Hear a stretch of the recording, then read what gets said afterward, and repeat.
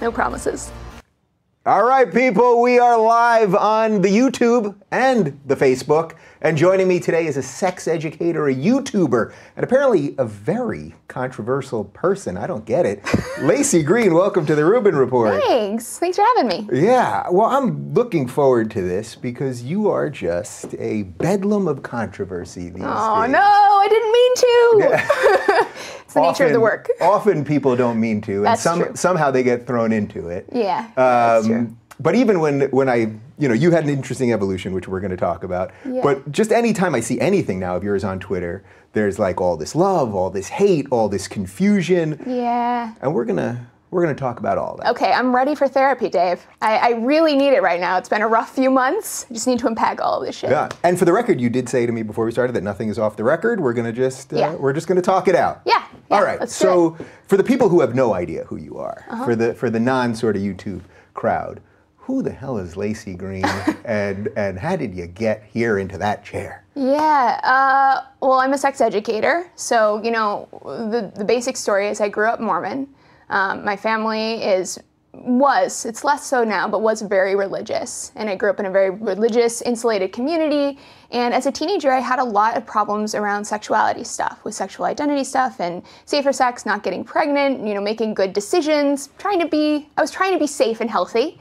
And there were no adults in my life that I could ask about this stuff. And I carried around a lot of sexual shame and guilt um, about who I am. And so, you know, this was around the time that YouTube started becoming a thing 2005, 2006. So in 2007, I hopped on YouTube and just sort of started ranting to my camera about Mormonism and about, you know, how messed up I think it is. And, um, that sort of grew a following and that evolved when I went to Berkeley to get my degree. I started focusing more on helping teenagers like myself who were in these really insulated environments, had no one else to go to, who were hopping online trying to find people and information, you know, to deliver that information to them, to be a friend to them, and build a community around that. That was sort of this retreat from these very, uh, you know, oppressive religious environments. In retrospect, does that seem like a crazy time for you that you had all these feelings? Yeah. And it's one thing to have those feelings and share it with your friend or share it with, you know, a therapist or whatever it is, but you jumped on YouTube of all places at the nascent time of YouTube. Yeah. It is sort of serendipitous, I suppose. It was kind of a it was a crazy time in my life, but it was also when I look back on it, it's like, wow, that was really cool. You know, I just sort of was using what was available to me.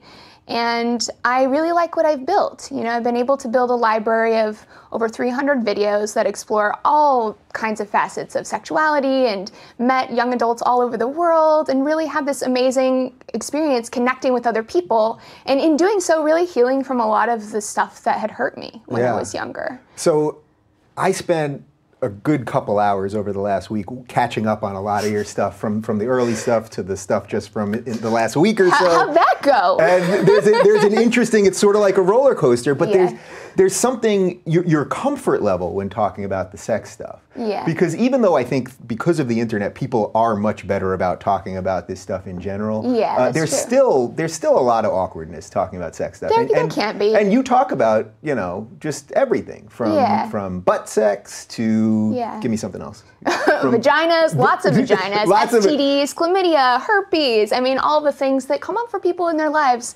privately. you Yeah. know? Um, when you started doing these videos, how long was it before your family found out what you were doing? Um, they, it's weird. We we've had very few actual conversations about it to this day. Um, they knew I was making videos. They knew something was happening because back when YouTube did spotlighted creators, one of my videos was spotlighted.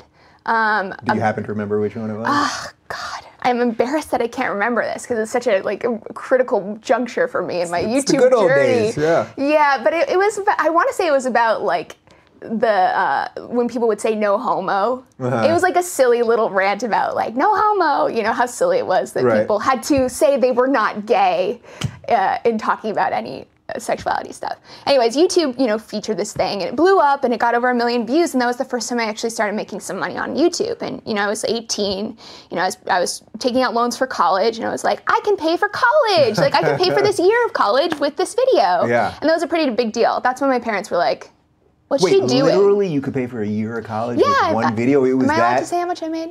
Is there like a rule against? Well, whatever. not- not was I don't have a rule. It was community college, Yeah. so it wasn't that expensive. But even Um, so, that's incredible. yeah, I was really excited because I was working two jobs. I was babysitting and nannying, and I was working as a waitress. And you know, this was a really exciting thing for me to just have my creative thing. I you know vomited all over the internet to help me get through school. And you know, YouTube did help me get through school. It helped me pay for uh, Berkeley. It helped, it helped me pay for all my education and accreditation stuff. So. Yeah. What, what were you studying at the time? Uh, well, when I was in community college, I was trying to figure out what to study. I was originally on track to study chemistry, and when I got into Berkeley, it was into their chemistry program. Um, but then I switched gears a little bit and went more toward the law because I wanted to work with sexual assault survivors. yeah. So then, okay, then the channel starts taking off. Yes, the channel starts taking off. How quickly did you realize, like, oh, this is going to be my life? Uh, I still haven't really realized that. it is your life. I Th- know. That was what I was here so to tell you. Weird. Wow, Yeah. that was. Thank you for reminding me. Yeah, this is yeah. my life. Oh God. yeah. No, I, I, I don't know. I'm just doing this. It doesn't feel like a thing that I set out to do. It's just like a thing that I'm doing. It's what I believe in. It's what I want to talk about. It's what I care about. That's the bottom line for me. Yeah. So we're going to talk about some of the controversies and some of the stuff that's happened in the last couple months. But do you? Oh yeah, we're going to talk about it.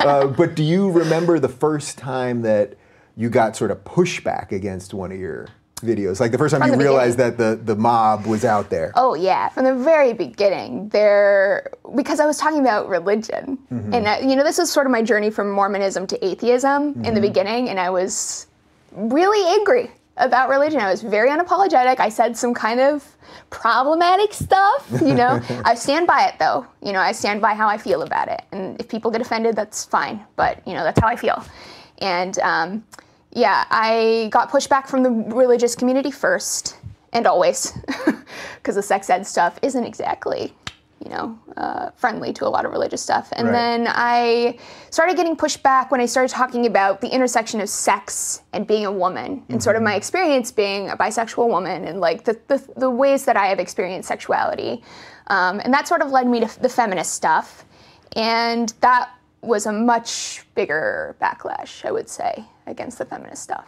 So right, so you that's sort of where I became aware of you. Like you were kind of in it with the feminist stuff that sort of then got looped into all, a lot of the stuff that I talk about about the yes, modern it became left. more political in a sense, you Yeah. know, talking about the feminist stuff. And I didn't, I had no idea I was wading into that. yeah, that's You what know, I was going to ask you. I- Did you have any sense that that it was becoming that even though you were just talking about sort of a sliver of this through feminism, that it really did represent like this whole things. other political thing? Yeah, I mean, I was talking about like being empowered in the bedroom. You know, like feeling okay if you want to, if you're a woman and you want to have sex or whatever. The key is that it needs to be safe and consensual. Slut shaming is bullshit. You know, you shouldn't be telling women who they can sleep with, how many people, whatever. You know, the the bottom line for me in helping young women is helping them understand that their body belongs to them and no one else. And then there's there's the government and there's all these people, their peers. You know, there's their parents, there's religion, there's all these people, these forces telling everyone. But for me, as a as a young woman, you know, that lens was how I experienced it, telling me how to experience sexuality. And I was like, no.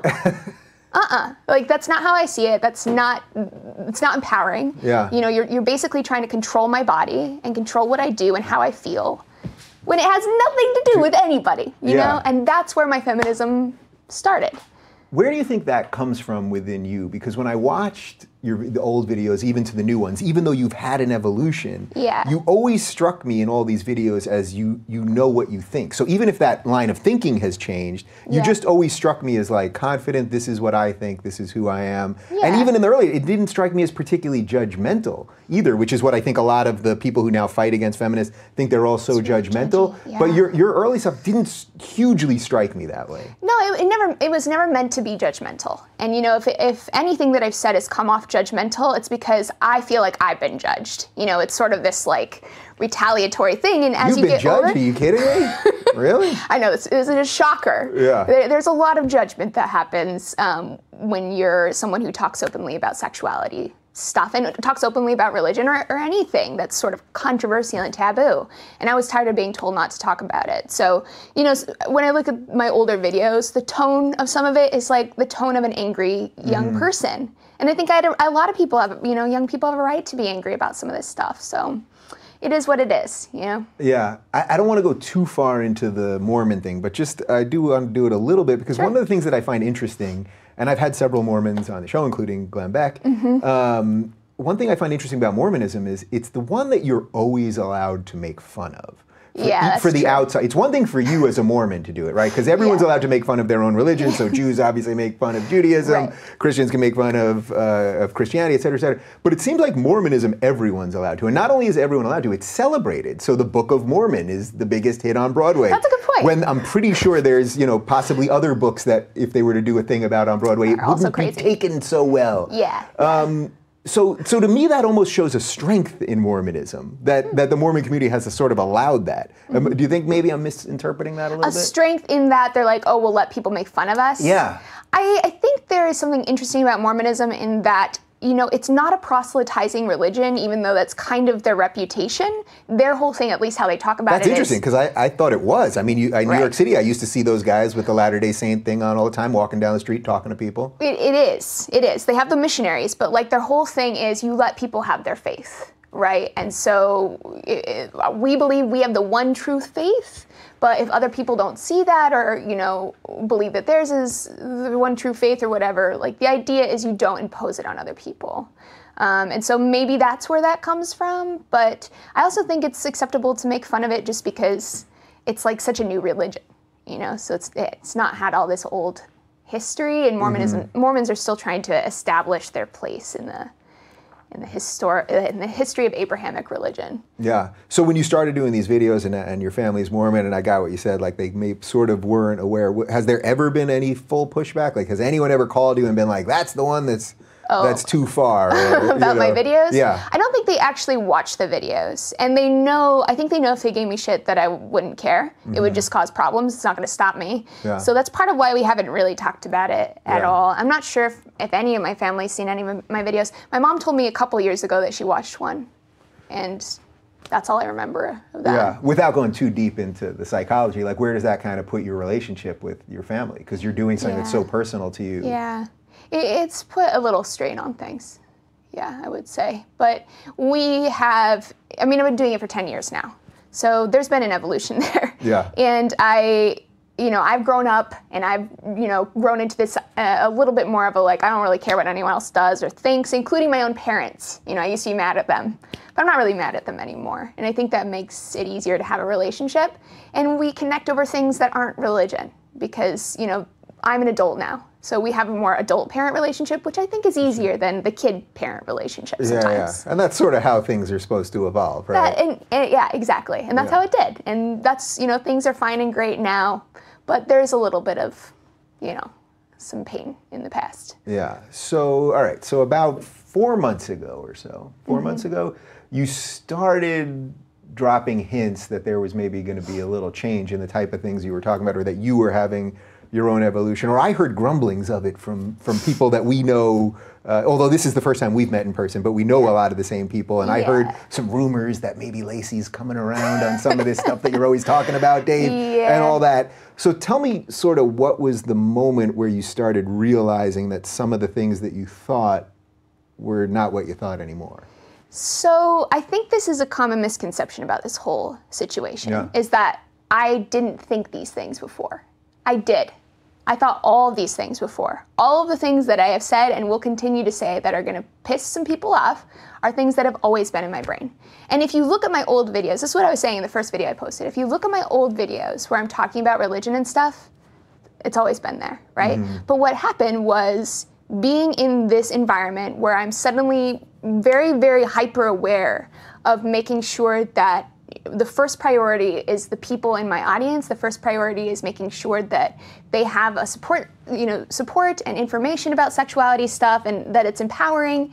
I sort of got I don't know, like moved into this sphere of people who I am not necessarily politically aligned with. Mm-hmm. Like I am, but I'm also not. You know, like I don't adhere to this super, super lefty stuff, and I never have. I am a liberal, but Yeah. like, I don't know. I feel like there was this. Oh, a liberal who doesn't fall into all that lefty stuff? Well, that's Oh, the thing, right? It's like it's from? heresy, and and I I felt a lot of pressure, a lot of pressure from around the world from people to sort of maintain this peace and calm and just sort of go along with it. And I did as long as I could you know, with the politics, with the gender politics stuff. Yeah. I, that's really what I got swept into. Right, so I- by being like a sex positive feminist. Right, and I want to unpack a lot of that stuff because I'm even watching what's going on on Twitter now with people that you've been debating or talking Yeah. to, and there, there's so many of the words that go over people's heads, I think, and confuse people. Oh my God, it's a And I- mess. yeah, and I also such think a mess. I also think make a certain amount of people tune out, which is something I want to discuss with you also. yeah. But all right, so even if you had had some of these feelings, when when you dis- you took some time off, right? You took I did. I took some time off because um, I was preparing to do my doctorate and uh, figure out my grad degree, but also I was really depressed. Like, really, really depressed. and was that purely a function of realizing what was happening? Mm, No, or- I've always dealt with depression really, really intensely. And it's always made doing YouTube hard because the YouTube stuff, it's a chaotic, crazy world, as you're familiar with. Yeah. And for someone who's really struggling with like the basics of getting through the day, it's not necessarily something that they can handle. And it certainly wasn't something that I could handle. Um, but I got treated in April for the first time with a treatment that actually works. I've been put on every antidepressant in the book. Wow. Um, and none of it helped. In fact, a lot of it made me feel really suicidal. And I finally found a doctor in LA that really looked into what was going on and figured out what the problem was and fixed it literally overnight. And that was when I was like, okay, I feel ready to say to talk about this now. I feel like I can handle it. Wow. So that was through a psychiatrist. So through something that you were prescribed. just an, an MD. It's just Yeah. through a, like a doctor. but but through but it was a, a medication that you were prescribed. Uh, yeah. I mean, I don't want to like go too far into it because Sure. I'm sure nobody cares, but it isn't actually a medication. Oh. It was. I found out that I have a, a genetic mutation which causes my body to process process folate differently.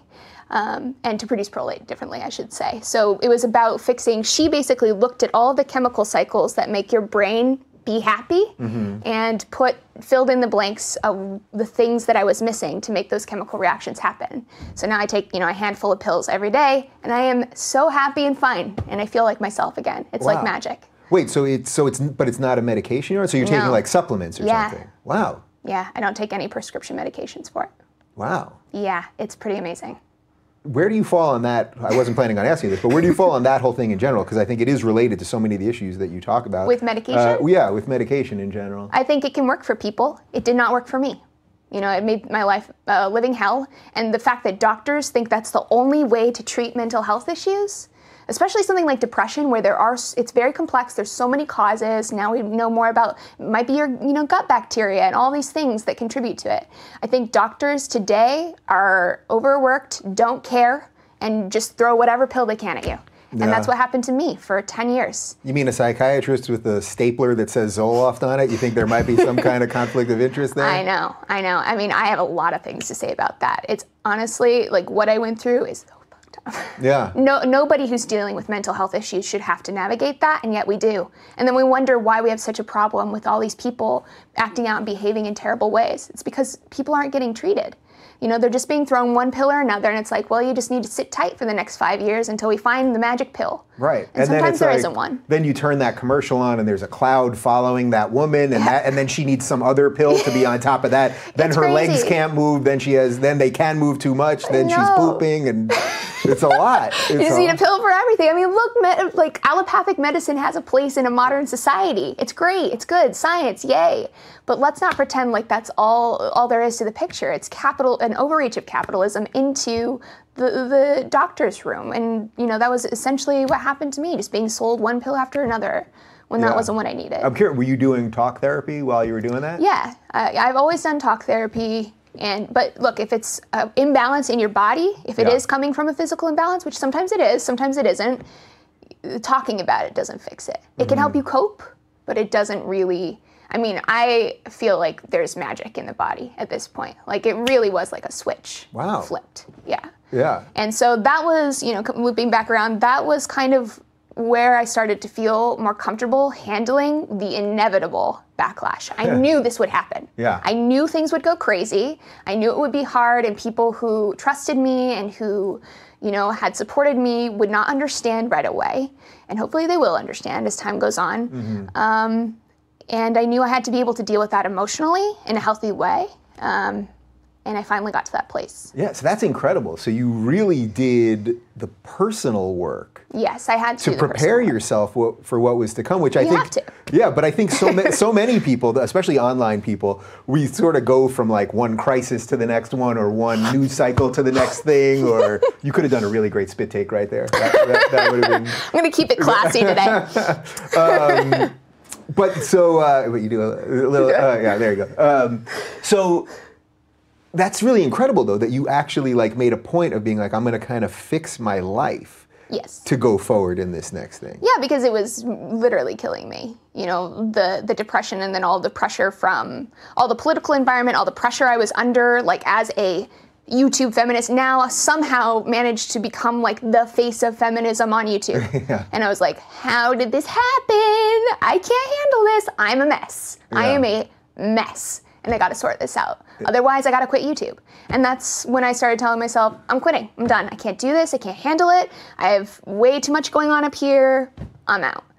But then I got fixed and I was like, I'm back. yeah, I, I mean, I really love that because I think it's so it's so important for all of us. Like eh, whether you have depression or whatever you have in your life, like fixing that thing, which is a work in progress important. always, and we all, myself included, are always trying to improve. And sometimes you fail yourself and whatever. Mm-hmm. But that to move forward and do something that's real, which I think is what you're doing now, like Thanks. taking care of that. I just think I think it's great. Um, but just call to that show self-care in feminism, by the way. When you see this self-care word thrown around, that's what it means. Take care of yourself first, then do life. Oh, It'll I thought self. that I thought that was some sort of vibrator thing. Self care. I mean, that could be part of it too. Many vibrators have been involved in the self-care process. yes, yes. And by the way, I'm not letting you escape out of talking about some more sexual stuff, but let's keep going. My favorite topic. uh, I'm down. So, just to show you the way you've evolved, the night of the election, I think, when you were still sort of, I guess, on the other side of this, so to speak, Yeah. uh, you tweeted something about the evil white men of America. Do you remember sort of what the tweet was? don't How could I forget? Yeah, the internet you- reminds me every day. Yeah, can you- I don't. I don't remember what I said. I said something like "fuck white America" or something. Yeah. And I stand by that. It's- Okay, so I think that uh, I don't even know that I was following you at the time, but I knew who you were. But I saw that tweet. It went super and, and I retweeted it, and I'm sure I wrote some snarky thing. So as you're sitting It in, deserves snark. It was like a stupid tweet, but like I, the sentiment behind it, I still feel like we have a racism problem in America.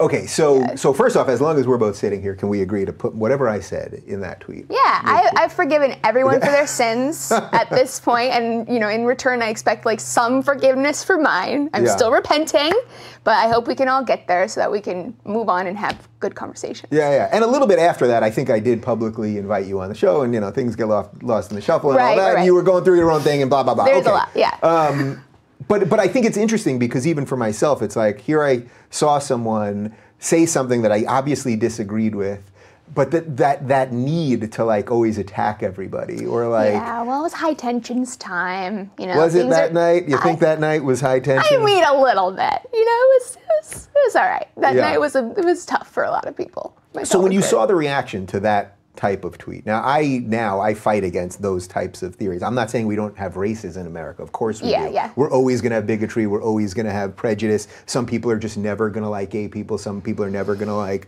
Muslims or I mean, Jews I or any of those things. I would counterpoint that was saying we could lower the amount of Oh, absolutely. bigotry. It- it can always there might lowered, always be it- like this low level, but I feel like people are like, we're always going to have this problem, therefore we shouldn't talk about it or address it Yeah. because we can't get rid of it. And I would agree that to some extent, like it will never be completely gone. Yeah. But we can do better.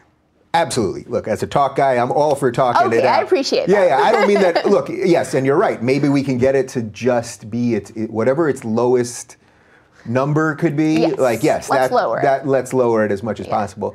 Um, but when you saw the reaction to that type of tweet, because I do see a lot of the people that are in this new space you're in, they they hate the way now sort of white people are Yeah, being. yes.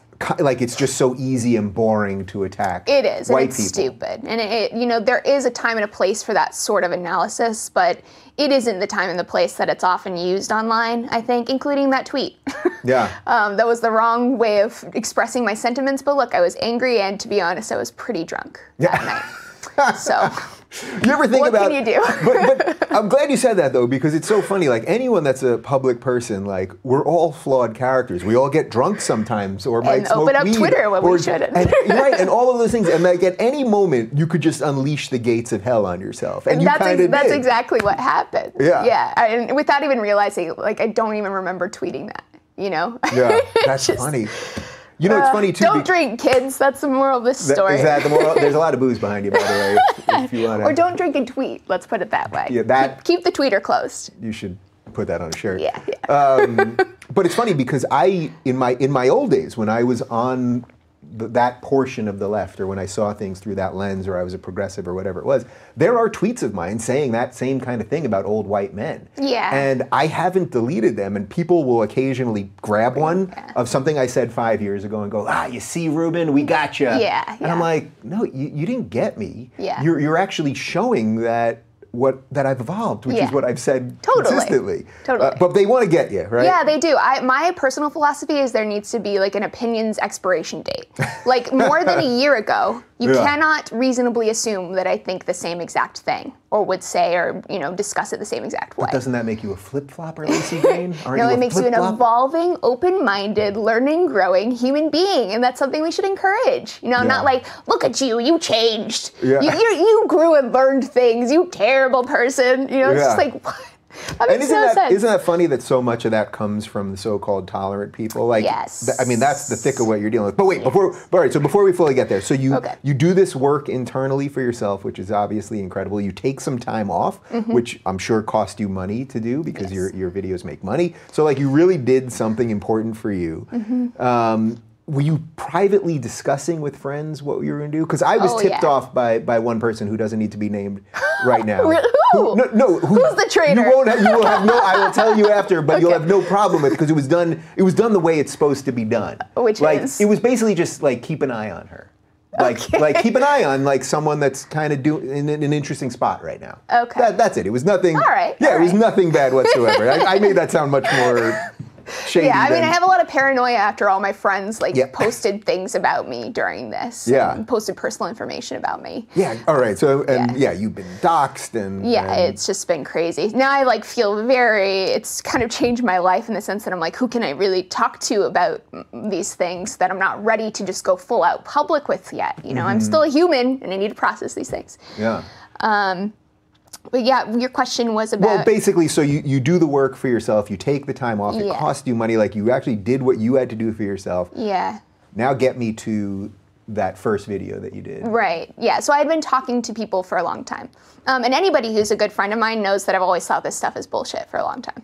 Like I vent to them and have had a lot of really bizarre experiences in feminist spaces that were just a lot to process. My friends, you know, they have been really supportive and like, yeah, this is weird. I don't know. I don't know. I don't can know you, what to can tell you give me like a really solid example of that? well, for- like for in the, people? video, I talked about how people have tried to um, physically intimidate me in person. Um, people who are feminists, who I agree with on stuff. You Yeah. know, maybe not 100%, but like 90, maybe. I don't know.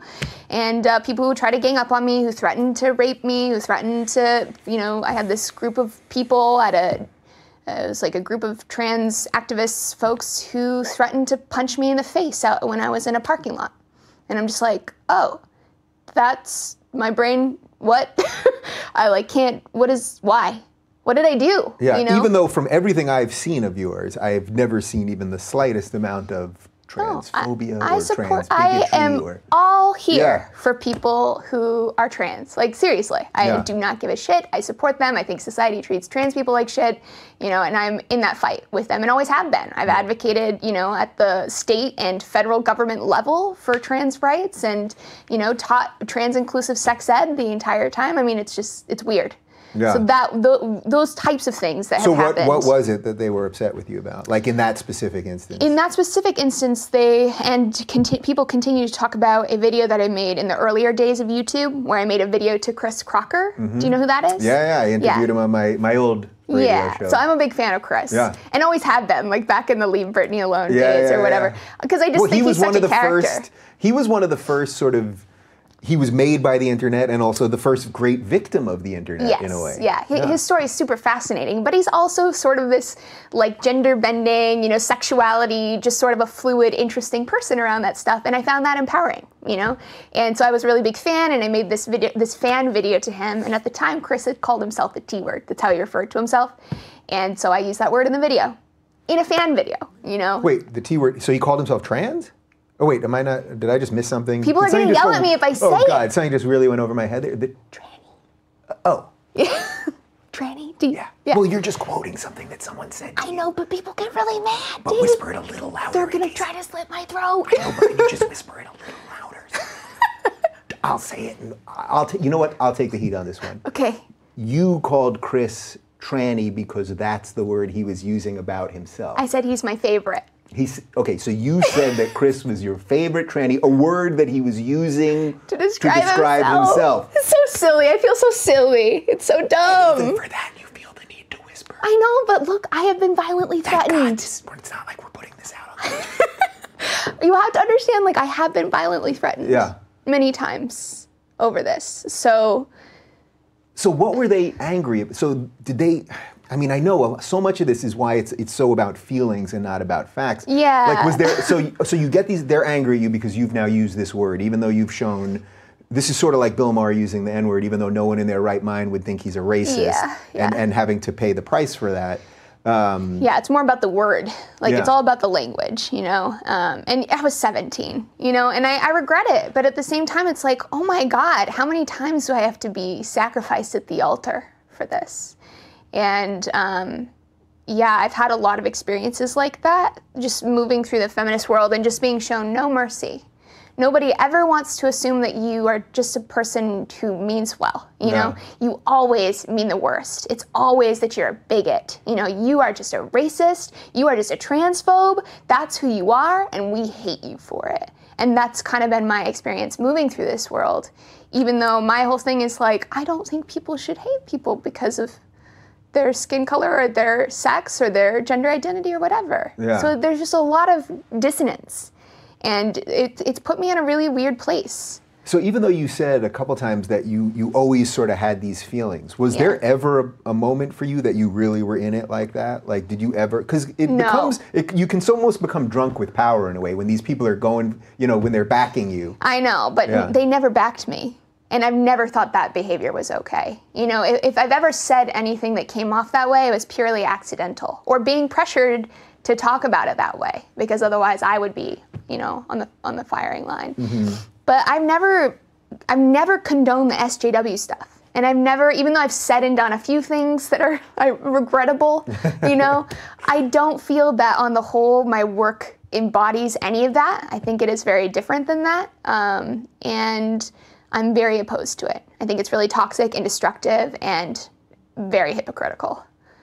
So you do this video, you start saying some of this stuff, and really, what you more than anything else, the, the takeaway from the video is I want to talk to people. That's literally all the video says. Yeah, I mean that's And I think that thing like I want to talk to people because I think things have gotten a little out of control Yeah. in the feminist sphere. It's super pro censorship, like overtly pro. Like we are going to campaign to get you censored, you know. And I actually had a friend of mine, a good friend of mine. This, this is actually I'm still processing it. Mm-hmm. A good friend of mine who you know, is campaigning after I came out with this stuff. A good feminist friend of mine, we had planned to go travel together, and we've been we've traveled a lot together already. Who decided to who wanted to make a petition, you know, to shut my channel down, or I don't even remember exactly what it was, but it was just like, what the hell? Like this this is someone I'm pretty good I'm pretty good friends with. Like it's very overtly we don't like the the goal is to silence. No other opinions should be heard Yeah. because it's oppressive. I'm a, oppressive now. So even though you intellectually knew that that thing existed, were you shocked when it became that personal? Because I had the exact same thing. Even though I, for me it wasn't talking about feminism, but when I started Yeah. talking about what I saw wrong with the left and the the speech stuff and the Your friends turned on authoritarianism. I lost I lost a ton of friends. Mm-hmm. Uh, coworkers of mine uh, stopped talking to me, but but friends. I mean, people. Some people that I had that were invited to my wedding. Uh, That's yeah. That's really messed up. Yeah. I But mean, when- same same for me. So when you would have when you would have those conversations, so I, I'll just give you one anecdotal thing from myself, and maybe you have one for you.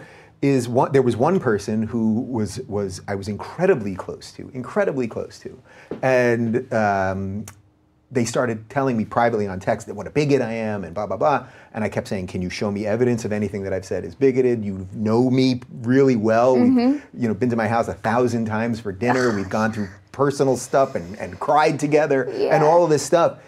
And I couldn't get one example of anything. It's just no, no, you're a bigot, you're a bigot, you're a bigot. So did, when your friend, you know, then starts doing this protest against you, I mean, It's not just you- friend, friends. Uh, Yeah. So were you able to make headway with any of them, or did it all just like melt at the same time? Um, I've- I've and the reason I'm asking you this so specifically is because I, and I'm sure you do too, but I get a ton of email about this. That from my audience, when they start talking about this stuff, They're or they leaving. share clips or whatever, that suddenly friends are blocking them or defriending Yes. them and all that stuff. oh God, what has this world come to? Yeah. Priorities misplaced. You know, you can't even have friendship anymore. Yeah, I mean, for me, you, it, I have lost a lot of friends. Um, people who I have let into my home, who, you know, I've made dinner for many times, who, again, you know, we've had the moments, we've laughed, we've cried, who turned on me in, in a, you know, in a heartbeat. Um, the moment I said that I was against censorship, which is very strange. Yeah. Um, and it's been really hard because these are, it's been like, well, I feel kind of lost now. My community is turned on me in a sense. Um, but maybe they weren't ever my community to begin with. Like what I said before, I sort of just by proximity and sort of being nudged in this direction have, um, you know, met all these people and built these relationships. And a lot of those relationships I felt like were kind of fake to begin with. Like you always feel like you're being judged. Um, that's kind of what I feel like hanging out with people who are super, super SJW feminist types. Yeah. It's like you can't relax, you can't tell a joke. You're like worried that everyone's going to be offended all the time. It's just like a very, ugh, like Right, can we just you're, calm you're down? just on that like hairpin of like I might say something wrong accidentally and then it's all over. Like that's not a fun way to have a friendship. No, and it's so easy to say something wrong. like you, like Yeah. it, it, it's such a bizarre, arbitrary high bar, and it's it's not a good precedent for friendships and relationships. And I never liked it. You know, I never felt connected to those people. There was maybe only one or two people that I really felt like we had a connection who turned on me publicly. Um, but then, like all these people that are internet friends of mine who I've never met in person or anything, but who, you know, we share each other's work, we talk online, whatever, also turned on me. So it's been sort of this ripple effect as people just sort of, you know, cast me out of the club. And that's been very revealing, you know? If, you, if this is what gets you thrown out, then fuck you, throw me out. I don't give a shit. It's so interesting because just you know, just getting to know you in this half hour or whatever, it's like you you did this once already in life. You did this when you were 16 or 17. Bingo. And- yeah, and and It's then just a replay for me. It, it's literally the same exact thing. Yeah. It's like you have this community that is organized around moral principles, and you feel really repressed and shamed and restricted whenever you have a you commit a thought crime, and you have to confess and you have to apologize when you make a mistake. But your apology is never really good enough. You always are deep down an, an original sinner. Yeah. You know, and Yeah, you have to be cast sin. out. You're going to be excommunicated if you make too many mistakes. It's the same exact thing. and so many of them Mormon. so many of them hate religion, but they'll give you original sin, which is which is a whole a whole other thing. It's so these moral systems, you know. Yeah, they yeah. all work the same way. right, whether they're moral, whether they're religious or secular, Right. or and or that's like a that is a on another note, like that's a big question that I'm trying to figure out is how do we create moral systems for humans without devolving into this trash? Like how do we encourage people to good encourage people to be good people Yeah. without all of this? Because it seems to come with the territory, in my experience. Yeah. So okay, so you lost friends, your audience had all sorts of issues dealing with new Laci, Yeah. all of this stuff. But so let's get away from the bad for a second. Let's talk about the new community that you've been welcomed into. Yeah. Because now you're in the community that on the online side of it, the YouTube side of it, it's mostly the people that I love. Like Yeah. like this great community. And I saw you were you were at VidCon with a lot of these people. Yeah. Um, and had a great time. and and got to suddenly meet people that were your enemies in a certain respect. I mean, at, at some level, you I know. never saw them as my enemies. Only the ones that made really terrible videos about me. Yeah. So which wasn't most of them. so let, let's talk about one person in particular because I think something really beautiful happened, Yeah. which is uh, Carl Benjamin, Sargon of Akkad. Yeah. I had him here live the the day that he went to VidCon. Oh, so I yeah? think I I think watch that. Maybe I think maybe you met him that night perhaps. Uh-huh. And I had known that he had done some videos about you, and I said something to him uh, off camera about. Um, Something like, "Oh, are you going to see Laci? I, I guess she probably doesn't like you." So, like something like that. Yeah. And he said to me, I, I kid you not, he was like, he was like, I don't know why she wouldn't like me. Like, I, it's not personal.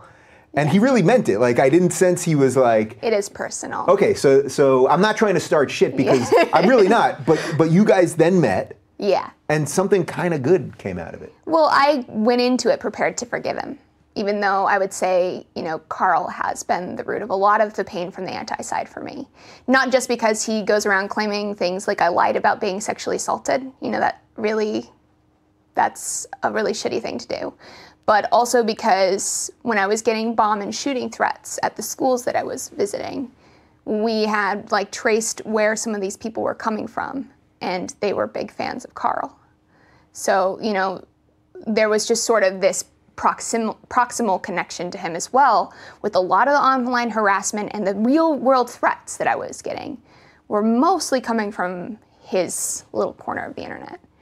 And, um, you know, I have had a lot of trouble with Carl's stuff, with the way that he's talked about me, with the way that he has portrayed me to people, you know, sort of lying about things, distorting things I've said. Um, but my, in my mind, like there's a context, you know, I think that, I don't know, I'm still making sense of it, but I don't, I don't want to hold on to any of that, you know, and I know that people have been telling me, like Chris had been telling me, even when this all started, I was like, I'm absolutely not forgiving Carl. like, Yeah. I just can't. I can't do it. Yeah. Um, but after talking to people, and you know, ta- I actually talked to Carl first online. I reached out, and I was terrified, and I did it, and it was fine. So this is before VidCon. This is before, Yeah. yeah. This is after the first video, but before VidCon, and I just told myself, you know what? I gotta, I gotta move past this. Like, I'm sure there's a lot of junk and all this kind of garbage that has contextualized these experiences, and I just want to move on from it. And that, that's why I decided to forgive him. But um, and, and I want to talk to him. You know, I want to talk to him about the things that he has criticized, the ideas. The, for me, it's not the criticizing ideas. Criticize my idea, ideas all day long. Like let, let's talk about it. You know, but don't make it personal. Don't make it about me being sexually violated. Like that's not okay. You Yeah. know, that's crossing a line. And that's what I had to forgive was the crossing the line. And you know, I've forgiven people for much worse in my life. Yeah. So you guys met. So you met. yeah. And I think it's important because everyone's fighting with everyone all day, especially online. People are just tearing each other apart. We, we've both now given examples how, how this also leaks into real life friendships and all that. So you finally get face to face. Now here's a guy who I really like him, and uh, you know I, and I like a lot of his He's a good work. guy. I honestly can't say that I that I ever watched one of his videos about you. I truly have no recollection of That's that. fine. But a lot of the stuff that he talks about that I care about, about classical liberalism and all that, we're, we're fully on board. And as I said, I, I like him and I had drinks with him that night and everything Yeah. else. Okay, so you, you finally meet him. And it's very different when you're snarking at someone through a YouTube video versus when you actually are looking them in the eye. Can you just tell me what that felt like for you? It was it was sort of a, a surreal moment because we had we all of us all of the antis or the skeptics or critics or whatever you want to call them had come up to LA. I call them generally decent people. generally The I mean, you know. I think there's a lot of people out. I'm referring to the specific Yeah. genre of content online, right? Like all these people who make this type of videos online had come up and were going out for a night, you know, in LA, and so I joined them, and um, I just sort of ran into Carl on a street corner as we were moving our party elsewhere,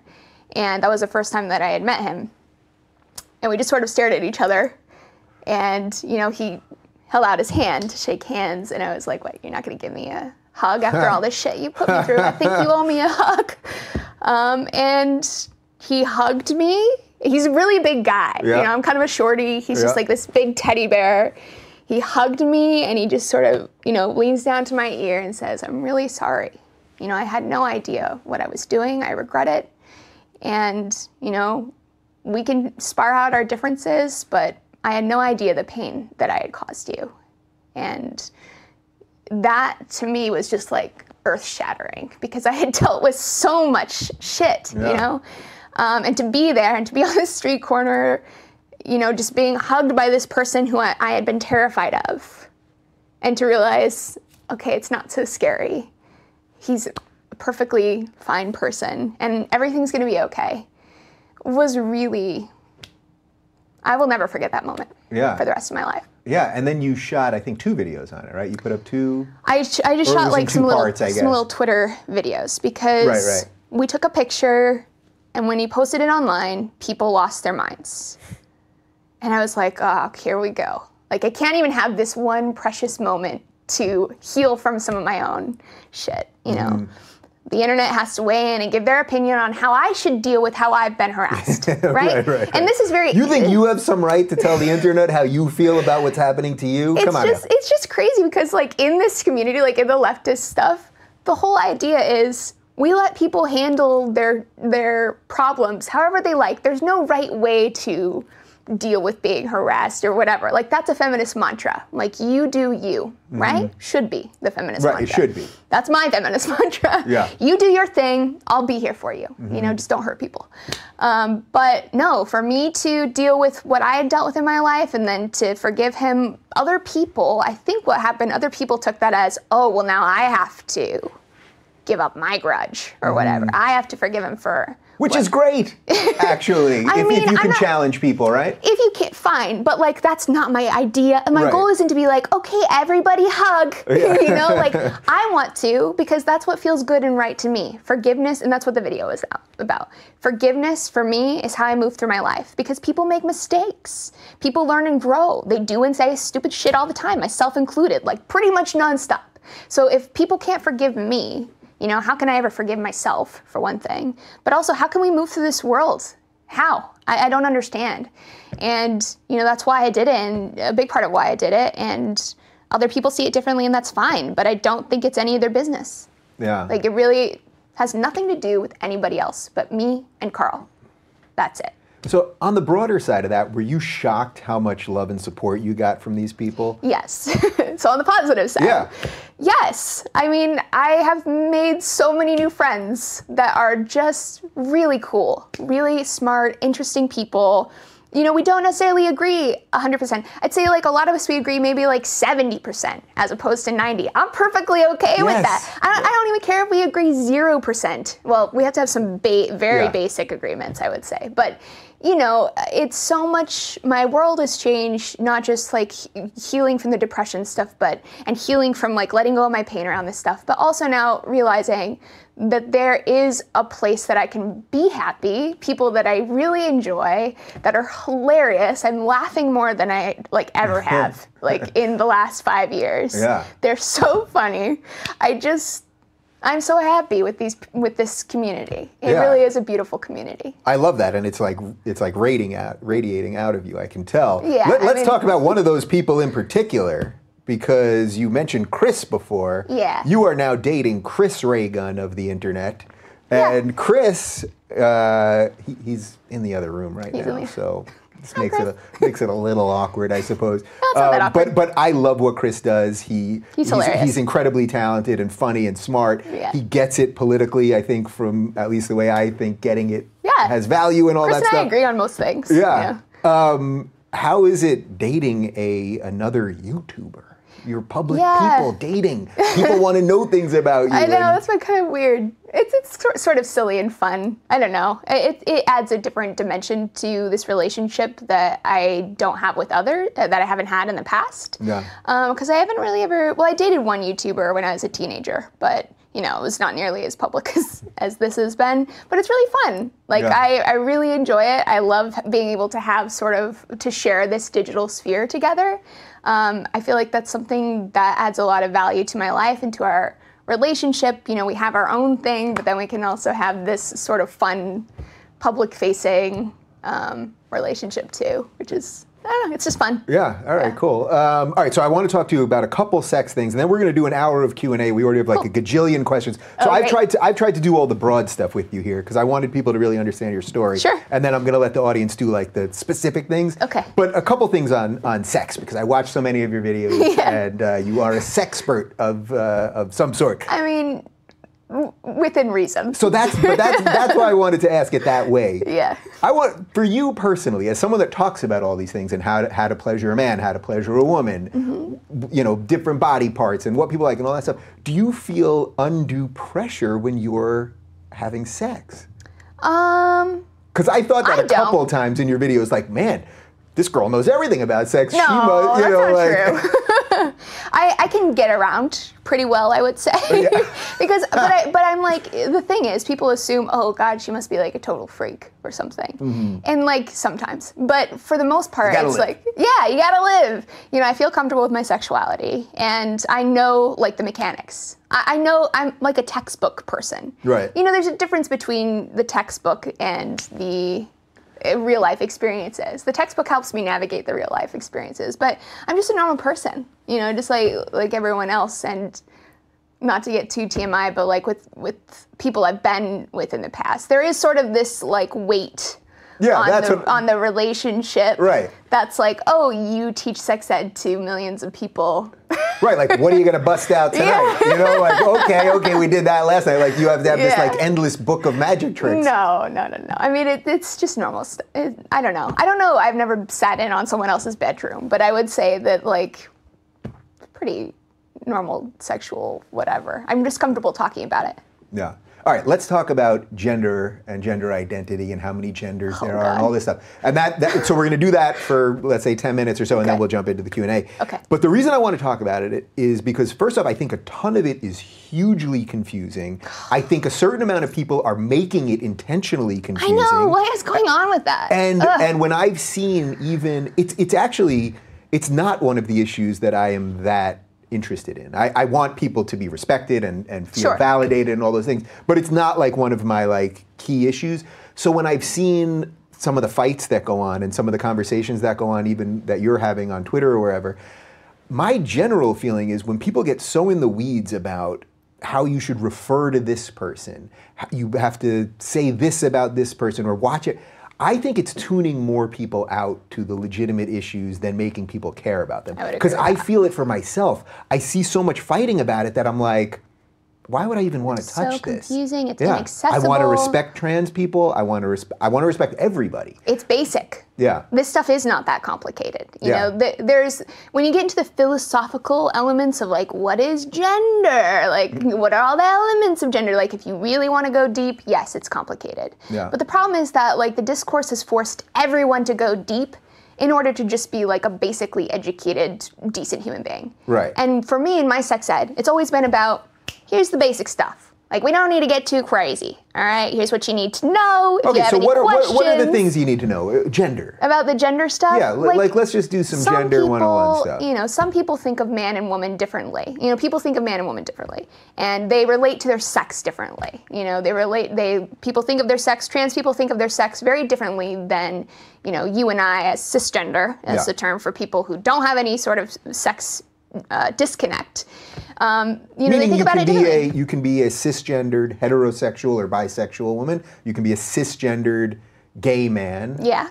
Meaning that it, you're just you, you believe that you are of the You're comfortable calling yourself a man. Yeah. You have a penis. You're a man. The end. Okay. Some people don't feel that way. You know. have a penis. I'm a man. or Got it. some people have a penis and they're a woman. Some people have a vagina and they're a man. And that's just how they experience it, and that's the way it is. So respect it. The end. You know, it doesn't need to be like this big. So, for, but for the people that don't understand that, so how can someone have a vagina and be a man? Well, it, with trans folks, specifically, I'll talk about gender dysphoria because Yeah. I think that's actually like the defining one of the defining elements here that is easiest to understand. Okay. You know, gender dysphoria, sex dysphoria is where people are in their own body and they are, experiencing their genitals, right? And they feel. I don't have this, so I'm just sort of quoting from what people have told me, right? Sure. Don't get mad at me, internet. All right, they sort of, Fat, fat chance of that, but go ahead anyway. you know, they, they feel, um, you know, deep discomfort with their genitals. And this is a real thing. It is a mental health issue that people struggle with, um, and it needs to be treated by a psychologist and possibly by a psychiatrist. And that is just a condition that some people have. And so for that, the treatment, you know, in that circumstance, is for someone to transition their sex, to feel more comfortable in their own body, mm-hmm. right? To feel like the world, their gender and the world around them matches how they see themselves. Um, and they can transition their body. They, they can. That's the medical transition. They can transition socially, which is where they're like, okay, I'm going to be, I'm going to call myself a man or a woman now, right? Mm-hmm. And I'm mm-hmm. going to change my name. And then there's the legal transition, where you change your driver's license, all these things, right? So there are different ways to help people move through the world in a way that's more comfortable for them. And um, you know, a lot of people get all freaked out about it. And I think the whole like you you need to sleep with with people who have genitals different than what you prefer, it flames that paranoia. It's like, whoa, whoa, whoa, it's fine until you know you told me who I need to sleep with. Yeah, yeah. Wait, let, us pause on that because yeah. I, I, want people to understand that. So there is this sort of contingent of people who think that even if you're okay with trans people, yeah, that you should still be okay with sleeping with someone who doesn't have the genitals you like. Otherwise, that in and of itself shows some sort of bigotry. Did I get that right? That is right. Yeah. That is right. And that's, you're exactly right. That's where the average person that wants to be a good, inclusive person, and, and that's where they start going. Because now it's not about the, the other, other, person. Now it's about me. Uh-huh. Like, and not only is it about what you're telling me to do, it's about what you're saying about who I am that I am a bad person for having different sexual preferences. And this comes back to the shame. right. Comes back to the sexual shame. And I'm like, the whole the whole goal in like the gender and sex positive movements is that we don't shame people. You know, we don't make people feel bad, even if their preferences are, you know, problematic. You know, there are some applications of that, like the more extreme stuff, like the pedophilia and the bestiality, which are different contexts. Right. But even you know stuff that is like, oh, you know, you're you are transphobic or you are you know a little bit sexist or whatever, like that kind of stuff. The solution isn't to shame them. solution isn't to make them feel like their sexual preferences are bad, because sexual preferences aren't something you just choose in your head. You know, they're they're a way you feel, and people feel like that's sort of outside of their control, and it is you know? So telling them you need to control this, otherwise you're a bad person when we're talking about safe and consensual sex yeah. is an incredibly problematic message to send to people for me as a, as a sex educator who wants people to feel comfortable and okay. What do you think about just the suffix phobia? We everything yeah. now is a phobia. Ah, yeah. And I and I think that it's done a major disservice. I don't think every person, even right now in 2017, as I tell you this as a married gay man, I don't think that every person in America, a Christian conservative who lives in the middle of the country, that isn't okay with gay marriage yet, and maybe never will be, I don't think that inherently makes them a homophobe. I would like to show them that gay people are like everyone else. Yeah. I, I wish that they would be a little more open-minded or something. But yeah. this word phobia or transphobia, that you yeah. fear them, yeah. I feel like it's, it's not the right word. It's actually creating more craziness around it. What do you think a better word would be? If you have one? I, I don't know. Well, I prefer I prefer no word. I'd prefer an explanation of yes. their ideas. Yes, you know what I mean? Fair. And this is where we all get lost in labels and all, all yeah, that kind of we stuff. need language. Ah, right. but, but I think when you when you put the phobia thing on it, I think it just it pushes those people the other way. And I know, look, I mean, I think every gay person knows this. When you come out to people, even your friends that maybe were a little weird about gay people or whatever. That's how you change them. Yeah, they simmer down usually. Not by not screaming always. at them. Right, not always. And some people are going to do what they, what people did to you when you came out in this new yeah. sort of thinking. Yeah. They're going to they're going to abandon you. It's just how it is. Yeah, I mean, I would agree with you that like I don't necessarily agree that it's not a fear because I think a lot of these things stem from fear. A lot of our you know, like social just an irrational problems. fear, which is actually yeah, it, like a tribalist sort of fear. Mm-hmm. Um, I think is what a lot of this com- some of it comes down to. But um, you know, with in terms of co- it's the problem for me is calling you a homophobe or a transphobe, or you know, sort of using this as a a shaming device instead of a device to help people understand, you know, how their perception has been shaped. So, you know, if I'm dealing with a guy who's, you know, talking to me in a pretty sexist way, which happens. You know, he's like staring at my boobs. He's like, you know, treating me in this way that I'm like a piece of meat that he's gonna try to like round up and take home. Yeah. You know, and it's like, oh my God, give me a break, right? I'm not gonna be like, well, you're a sexist. That's not, even though I'm like, this is sexist, right? Right. That's not gonna like help him understand why this approach that he's taking to talking to me at this bar is is not working, right? I'm gonna say, well, you know, right now I feel like you're my experience of this situation right now is this, this, and this, and this is why I don't think it's like a good thing. If I was gonna sit down and explain that to him at a bar, Yeah. I wouldn't. I'd Right, at a bar, Peace out. generally, But he's not gonna stick yeah, around for But that if it's like a guy friend of mine, right, Right. and he's he's behaving in this way that's like you know kind of putting women off or being disrespectful, I'm gonna explain why it's disrespectful and you know have a conversation about it and hopefully try to understand where he's coming from so that you know we can have a good productive exchange to sort of chill out that behavior if indeed that is a problematic behavior right and he could dispute my claim that it's sexist or whatever um, but that to me is the approach. You know, the approach is not to name call. Um, and these terms, sexist, racist, homophobic, these have meanings, right? And they have a place, they have a time, but I think they should be applied more to systems, like referring to system stuff. Um, like this law that says um, gay people can't get married is homophobic or whatever. As opposed to this individual person is uncomfortable about blah, blah, blah, and they are homophobic. Right. Do you know what I'm saying? Right. Or this person likes the genitals of the opposite sex because that's what he's attracted to, but Right. somehow he's a But that's not even transphobic, in my opinion. See, then there's like the usage of the words where it's not even. Right. Yeah. Yeah. Well, I don't see how that's transphobic. Well, yeah, like, okay. yeah, when when people say, "Oh, you need to sleep with someone who has genitals that are different than you prefer," um, I, and if you don't, you're transphobic. I would say that's not transphobic. Yeah, I would say that. And in fact, you're actually- homophobic. Zing! You see what you did there? You see what you did there? Got to play the game. Yeah, all right, I so- can use the game against them. well, isn't that the interesting thing? It's very easy to use their own games against them. You know, I don't, you know, I try not to use any of my identity stuff in that way. Yeah, I try not to either. But but every now and again, they all because their stuff is so sort of base level. You can use it against them pretty effectively, I Yeah, think. Even though it's not the, the It's not the that I way. prefer to play in, or the Yeah. that I want to play in. Yeah. Um, all right, so one other thing, and then we'll take a quick break, and then we'll do the uh, the Q and A. As you're talking about this, I'm curious. I don't know that I've seen you do anything on the men's rights stuff, but do you do you think, or first off, have you done anything really on the? not on like the men's rights movement per se, but I have done stuff about men's rights, particularly around sexuality stuff like um, male sexual assault and circumcision. Yeah. are the two issues that I've tackled because that's in my sex ed sphere. Mm-hmm. Um, not necessarily, you know, the stuff that is bro- more broadly men's rights. stuff. Yeah. So on the on the broader side, though, Yeah. do you think like a lot of this does? I see. I get emails from people that you know it's usually from from straight men, Mm-hmm. just saying that all of this stuff is pushing them the other way. Yeah. You, I assume you see a Yeah, I think people are are uh, understandably alienated. If I'm alienated, like, come on. Right, right, right. That's not a good sign. If I'm being alienated by this stuff, we got a problem because I'm not very easily alienated by these types of things.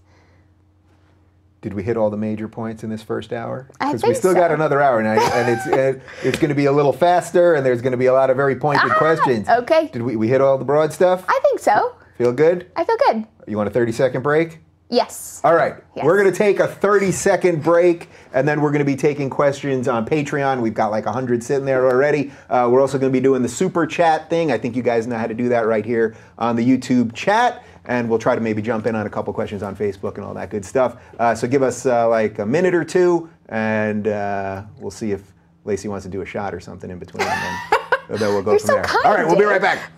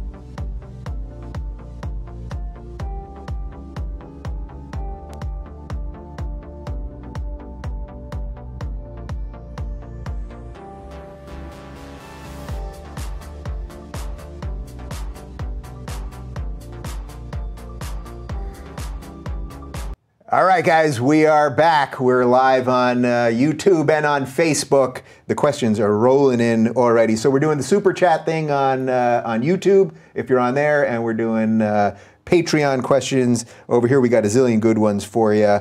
Uh, let's start with this uh, super chat first. Have you ever read 1984, and do you relate with your recent stress related to what's going on? I read 1984 in high school. I read it around 84. oh, did you? It's OG. Um, no, I don't really remember it very well. So.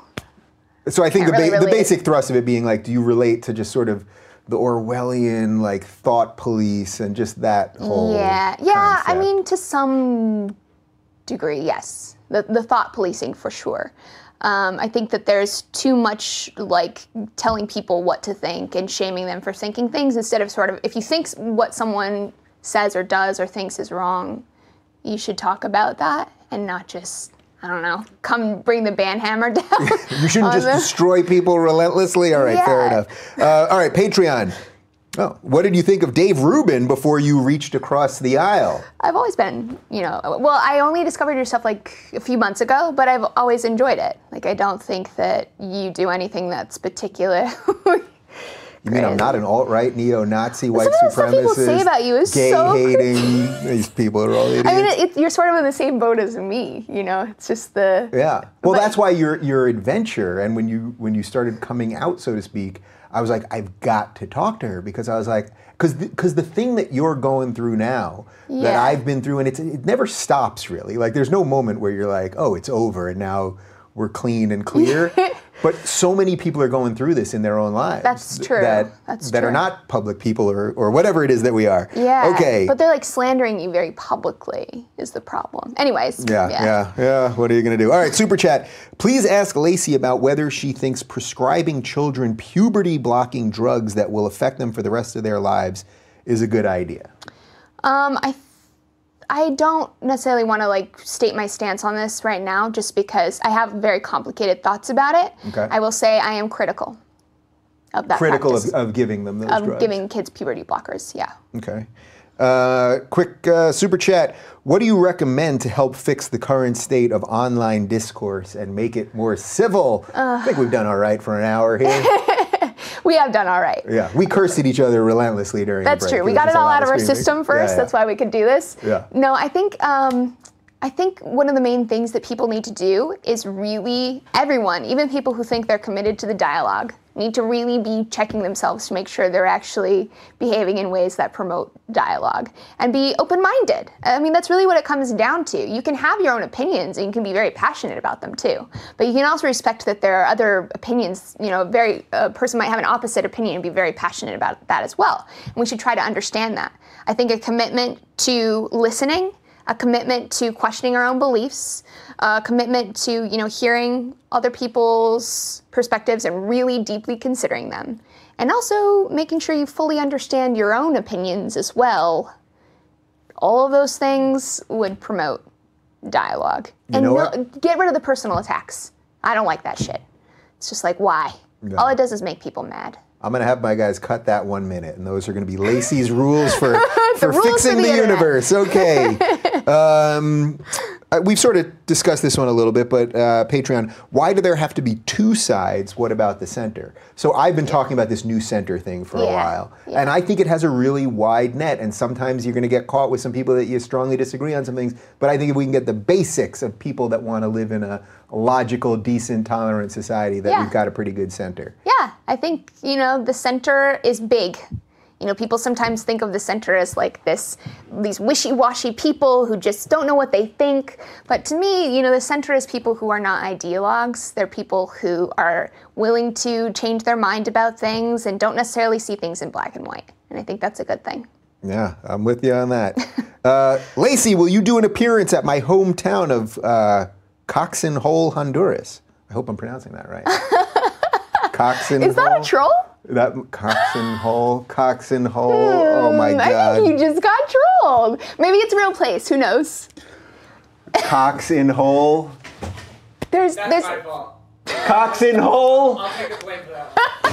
toxin hole. I mean, there's a place called Lake Titicaca, so you never right. know. Well, I think that's no Lord. I, I mean, that's literally. I just got I just got Moe Szyslak from The Simpsons. Um, is there an alcoholic here? Okay. Uh, how is your this is from Patreon? Uh, how has your work impacted your dating life? Are you guys intimidated, thrilled? What are the costs and benefits of being outspoken on the subjects that you deal with? That's kind of two two different questions there. But let's just focus on the dating part. the date, how it's affected my dating life. Well, kind Yeah. of like we, what we were talking about earlier, where Yeah. people come in with all of these assumptions about you being this freak in the sheet. yeah.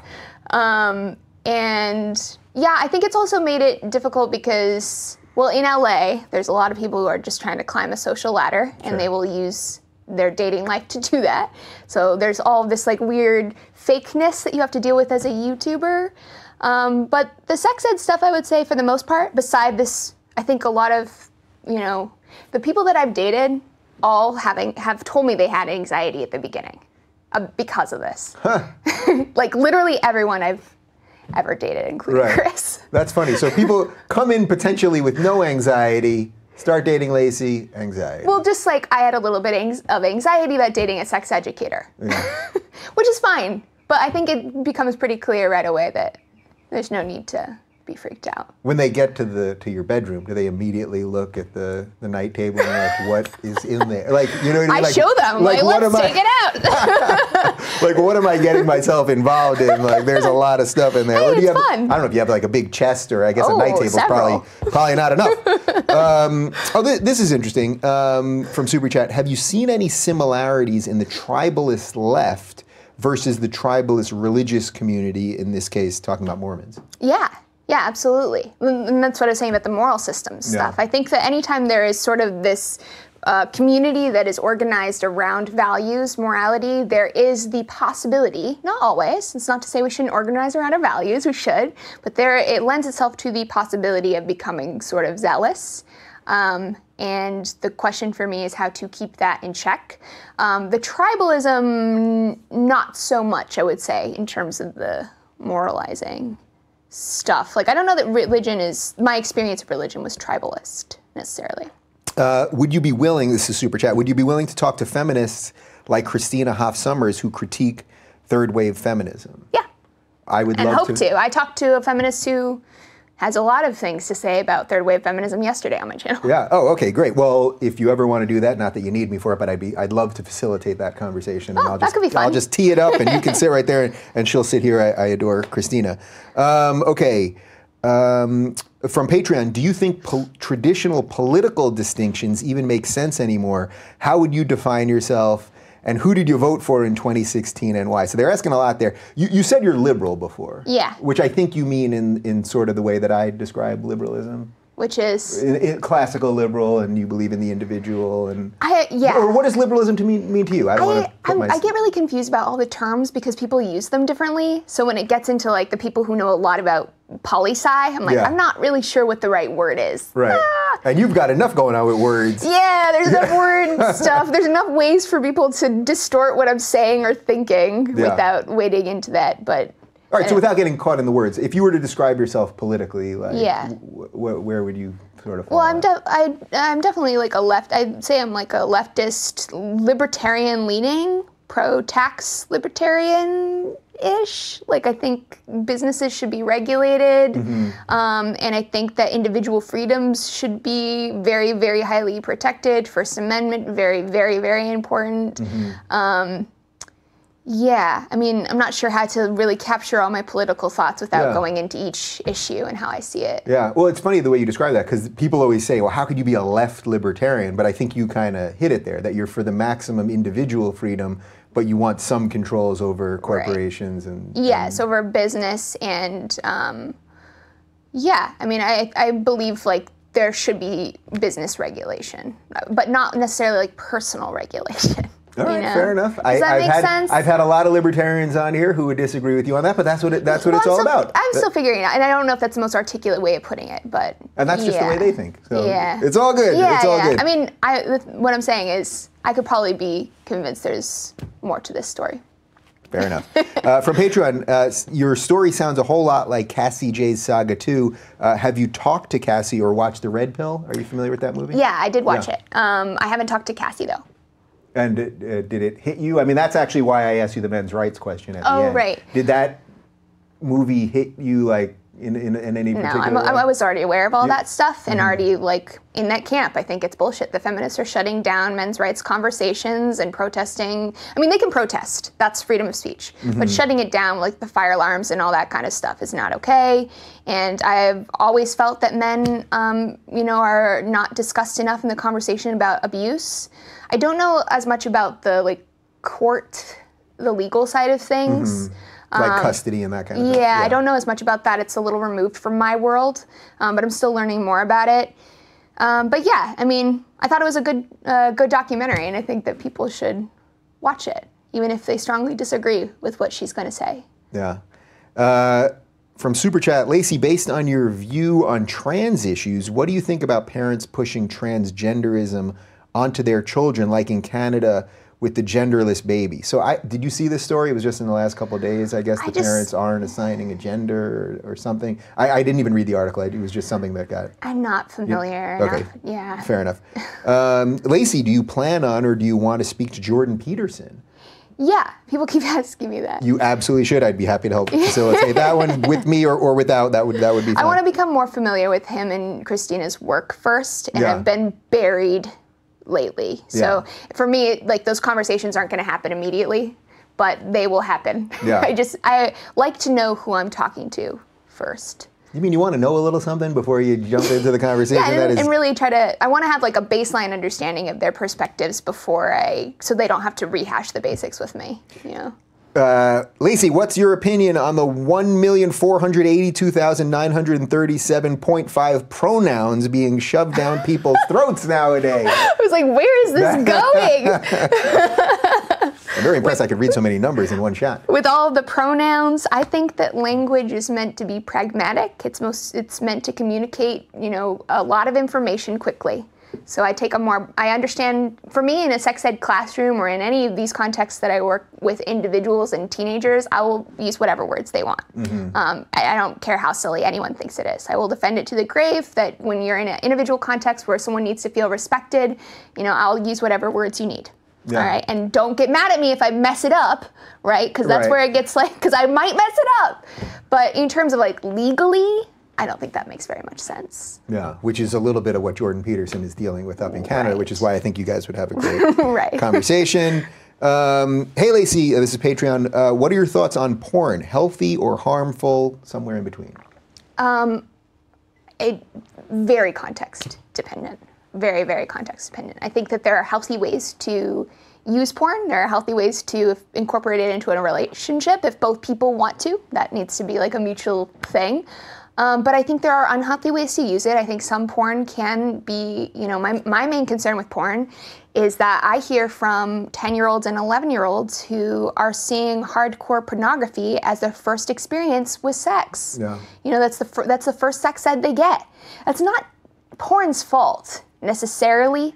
It's like a lot of things, and I think one of the biggest things is that we don't have like real conversations about sex with young people in this country to equip them to deal with things like porn, to deal with things like sexting or you know, even just basic relationship stuff. So the porn sort of exacerbates a problem in the sex ed world that's already there. Um, and I'm anti-censorship, so I say make whatever porn you want. Yeah. What, what about the access to it? Like, I remember when I was 14 or something, like, Yeah. to get access to a magazine or harder. something was impossible. You know, Yeah. basically, it was like the holy grail. Yeah. Versus now, anyone can turn on their computer. Well, that's the thing, and right? within And two kids, seconds, yeah. Literal children, you know, eight and nine year olds. I think there was, I can't remember the statistic, but an alarming number of nine year olds are finding hardcore pornography. And Jeez. yeah, I worry about that. And then I've also talked to a lot of men who, because of the way that well, we think this is sort of controversial science still, but you know, we have this increasing increasing threshold in the brain. You know, are we sort of desensitizing ourselves to the more common sexual experiences that people have Mm-hmm. because of this highly stimulating, like super super stimulating Right. imagery? If you see super stimulating stuff all the time, does everything else sort of You mean we can't do all that shit that we see in porn all the time? We can't get into I every mean, one of those positions. you could try. You can try. I'm, getting not gonna old- stop you. I'm getting too old for all that. All right, here we go. Um, oh, this is from Phil DeFranco. Uh, how responsible do you think online creators are for what their audiences say or do to people that they talk about and why? That- that's a great question that I think we all kind of deal with in our Yeah, own way. yeah, I, I think s- I think that's a big problem. Um, I don't know. I'm, I'm still trying to figure that out. I think that you know creators do have some sort of an obligation to discourage it. Like if you see a, a angry mob forming because Yeah. you're upset about something and you share that with the world, and then people, you know, the frothy mouths come out. It is Yeah. time to say something. Be like, yo, calm down. Like let's all bring it down a notch because you are the you're sort of a leader of, in the community, right? So if Mm-hmm. you see the community getting a little crazy, maybe say something about it. But ultimately, it's not the create. It's not my responsibility what people in my audience do. It's not Carl's responsibility what people in his audience do. Like, it, and it wouldn't be fair for me to be like, this is your fault. Yeah. Like, you can be as angry as you want online, and that's the thing where I disagree with feminists. It's like, well, you need to tone down your rhetoric or you need to chill out because you're making people mad. And it's like, well, you know, that's a slippery slope because a lot of things make people mad now. So. Yeah. I, I'm curious when you, when your channel was really growing. Like I've noticed that my audience, especially on on YouTube, when my channel was smaller, like the comments were a lot cleaner and on point and things like that. Yeah. Then we, then we hit some threshold that I think most as channels grow, most hit, Yeah. where then it started getting bananas. And if and if right now we were to look at the live chat, of course it's completely insane. Yeah. But, and by the way, everyone knows I'm a free speech absolutist. They can all say whatever they want and all Yeah, that. say but what do you you, want. do you happen to remember a moment when like it went from like oh these are my core people following me to now like there's something else going on here Well, yeah. I mean, I think anytime I've caught the ire of the wider internet outside of my community, it's become a little bit crazy. And that's the other thing too. Is like even if you people who watch you are doing crazy stuff, they're not necessarily people who are going to listen to you, who are who are watching you after that. You know, it's just like a big it's a big mess. yeah. So it's I think it's unfair for people to claim that this is your fault if people online do crazy stuff. yeah um, so I, i'm getting a couple comments in here because i just mentioned phil did that you maybe called him alt-right once or I've never called Phil alt right. All right, so i'm not even sure Unless I was also very drunk and forgot that too. It's always a possibility. Okay, I had gotta to- stop the drug tweeting. Okay, there you go. This is the proof that I'm reading all this stuff live. All right, let's jump back to uh, to Patreon. Uh, oh, thi- I, I love this question, um, Laci. What do you think about the war on context and satire that's going on in our culture now? It's no coincidence that you're laughing a lot more with your new friends. I completely agree with that. And one of the reasons that I've been so frustrated with the left is they've become so hysterical that they're not funny anymore. Comics used to be No thought of as la- yeah, Yeah, no laughing What, what do you think about that? What does that mean though? Like, what's the real question there? Like, I think the context is Well, that I think for that, that, that, that the, I guess that the hysteria and the war on words and political correctness has now made it so that people are afraid to laugh. As you said before, that even if you're 100% for Yeah, trans people, but you're you can still be afraid to make a joke that then you know they pin you. Yeah, no, I, I think that that is a side effect of this problem. That is a that's actually a big side effect because people need to laugh. People need to be, relax and have a good time. And even if they say something that's like a little bit fucked up, stop acting like that's causing genocide. You know, like it's not. We, we go from zero to a thousand Yeah. like so quick, and it's like, look, I agree that jokes like something I've talked about a lot is rape jokes, right? I agree that there's sort of this insidious thing that can underlie some jokes. Mm-hmm. Like like jokes that are like haha you got raped. You know for me as someone who has experienced sexual violence it makes me uncomfortable. I don't think that people should not be able to say rape jokes mm-hmm. or that they they can never be funny. I just think you know one don't expect everyone to laugh all the time. But also let's lighten up a little bit because sometimes the comedy can be healing That's you know the purpose of comedy. Yeah. I mean, that is literally the purpose of comedy. Uh, sex question from uh, Super Chat. What do you think of men who would identify as straight who are attracted to people who cross dress? So, just to be clear for people, that's not transgender Right. people. it's just wearing different clothes Right. yeah So, p- it's interesting that they word it people who cross dress. So, that means he might be attracted to a man who's dressing like a woman or a woman who's dressing like a man. What about it? Cool. What- Get, I mean, get it. yeah, go, go get it. Go get Go it. to All right. town. Yeah. Um, okay. Uh, hey, Laci, any tips on dealing with the closed mindedness on campus? I'd love to hear you and Dave come speak at my school together. Let us know, know what school it is, and Good maybe we can set that up. Um, do you do you do you do some stuff at schools, right? I've done a lot Yeah. at schools. That was my life for the last five years. That's you know how I've paid my bills and stuff, which is why I need to find a job now. um, because, Did you see a change in the five years? Oh yes. Yeah. Oh yes. I'd say the campuses were like one of the main places that I started to see a lot of this stuff. Campus and online. Okay, m- online is the main place. I should correct that. But campuses, yes. You know, there's um, a really high level of sensitivity, and it made me really nervous to like say anything or do something wrong. I was some of these schools that I've walked into that have very, very ultra left reputations have been terrifying and they've some of these students have treated me like dog shit like absolutely and it's like wow i'm here like talking about the things we both care about you know these students have attacked me just like crazy stuff um, I, I am worried about that because academia is a place to question. It's a it's a place to really be pressed, Yeah, you know, that's and it. to really be pushed on you know how you see things, to really learn how to think. That's what college is about. It's not about what you learn. It's about learning how to critically evaluate information. You learn how to do research, you learn how to argue with different ideas, you hear you read different philosophers and things that are wild and out there, and you learn how to think about, you know, evaluate what they're saying. If we don't do that at academia in academia anymore, if that's discouraged in some way because we can't hear a speaker because might hurt some feelings, might be controversial. If that isn't happening anymore, what the hell is the point of going to college? You know, like, I d- Yeah. and I'm not, I don't think this is like a really widespread problem. Like, we got, I think this is spreading though. There's the little seeds. Yeah. Oh, I think it's I think it's gone past the seed point. I mean, my, point. I might be a little bit like not quite. I I don't see it quite the same way as you. Mm-hmm. I because my experience is that a lot of the schools that I go to don't care. Yeah. Like I, I'd say it's like a 80-20 split. Like most of the schools I've been to, it's fine, whatever. You know, but Mm-hmm. 20% are just like, and maybe that's just the identity of the school. You know, if you want to go to an ultra conservative or ultra liberal school, go right ahead. Is it the best education for you? Probably not. Yeah. But that's your decision. And yet, in a bizarre twist, you know, a school like Evergreen State, that's a lefty, lefty, lefty school, Yeah. is now having all of these free speech problems and racial problems. Be prepared and all for it that. to eat it. So right, so you right, e- exactly. There you go. Uh, I think you answered this, but it's uh, but it's very pointed here already. Uh, do you? This is uh, super chat. Do you regret the "fuck white America" Trump tweet? Do you actually regret it? No. Yeah. Okay. No, I don't regret it. I mean, I think I don't think anybody should like regret things they say unless it causes violence. And all I did was hurt feelings. You drunkenly the words of the tweeted right, something. fuck your feelings. There you go. Uh, super chat. What is your opinion when non-black people use the N-word? um, I am personally, I don't like it. I don't tell people what to say. If we're in a context where it's like inappropriate, I will say something, you know, because sometimes it's not appropriate. I'm not a fan of the N word, you know, I just am not. I don't think it's like a, a good, nice word. But look, say whatever the fuck you want. I don't care. I'm with you, sister.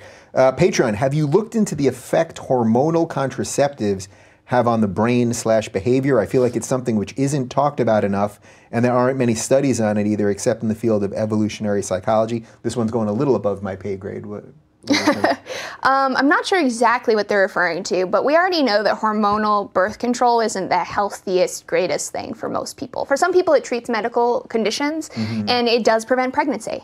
Um, so there's that. But, you know, there are always, these are medications. Yeah. You know, they're imperfect. when they say hormonal, is that like that's like the pill? You, well, there's the pill and there's the patch and there's the ring and you know there's lots of different hormonal types. Most are hormonal actually. You've only got like the copper IUD is non-hormonal, condoms are non-hormonal, um, fertility awareness is non-hormonal.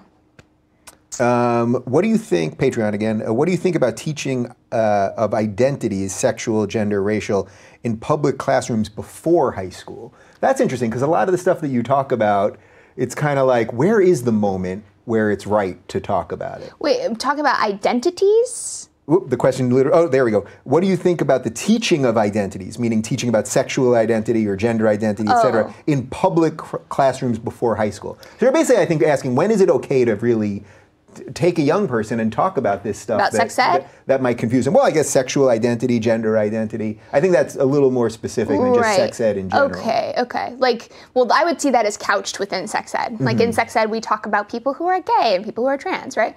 Um, I would say middle school is a good time. Um, but the key is not to. One of the things that I've seen rightful panic happen um, on the more right side of the right politically right side of things is like the imposition of like suggesting to kids that you are this. Like mm-hmm. that's where I think the real fear comes from. And good sex ed is not it's not that at all. It's just like, hey, some people are gay, you know, they have dicks and they like dicks, and some people are, you know, straight and they, you know, have penises and vaginas, yay. And some people are trans. This is just a thing. So when you see someone who's holding hands with a man in public, don't freak out. I have a great idea for a YouTube video that you have to do. You need to do a video of something like like the sex ed teacher who's over it. You know what I mean? Like just like who has said this shit so much that it's like, yes, some people have dicks and they like dicks and she likes vaginas. What do you want me to do? Like just over it, you So know? I feel like I've been over it since I was like 15. I'm like, whatever. Yeah. Just let people live. Just- But that, that, that, in a way, it's the kind of funny thing of, of what you do because these these issues and t- there's always going to be new young people that need to learn about these things. Yes. You can only find X amount of new ways to say them and I mean, I'll just keep saying it. A lot of what I say is just saying the same thing over and over and over again. That's fine. Yeah. That's part of educating. Uh, this is super chat with the Rolling Stone uh, UVA rape scandal. Has Mm-hmm. your position on listen and believe changed with regards to the rape accusations? So I, I suspect maybe you did a video that you were you you did believe it at first, which most people did. not the not the UVA. Well, the the that was like That- the that crazy Rolling. I think I'm thinking of the right thing. Like there was the story that the Rolling Stone journal. I think there was like some journalistic ethics issues there. They had like inserted some their. Per- I don't know if I'm remembering this right. Well, I think that if I'm not mistaken, the Rolling Stone one I think was was Duke University, and it turned out not to have happened. Um, but all right, That might have without different. Maybe I don't know. I can't Okay, remember. okay, There's so too many. There's too many. all right. So for the record, since we're, we're a little unclear exactly, but has your position on listen and believe changed regards to rape accusations? So let's just do it at the broader level. Um, I'd say generally not, but I will acknowledge that there is more nuance to these issues. I just think it's really difficult to figure out how to navigate all of that.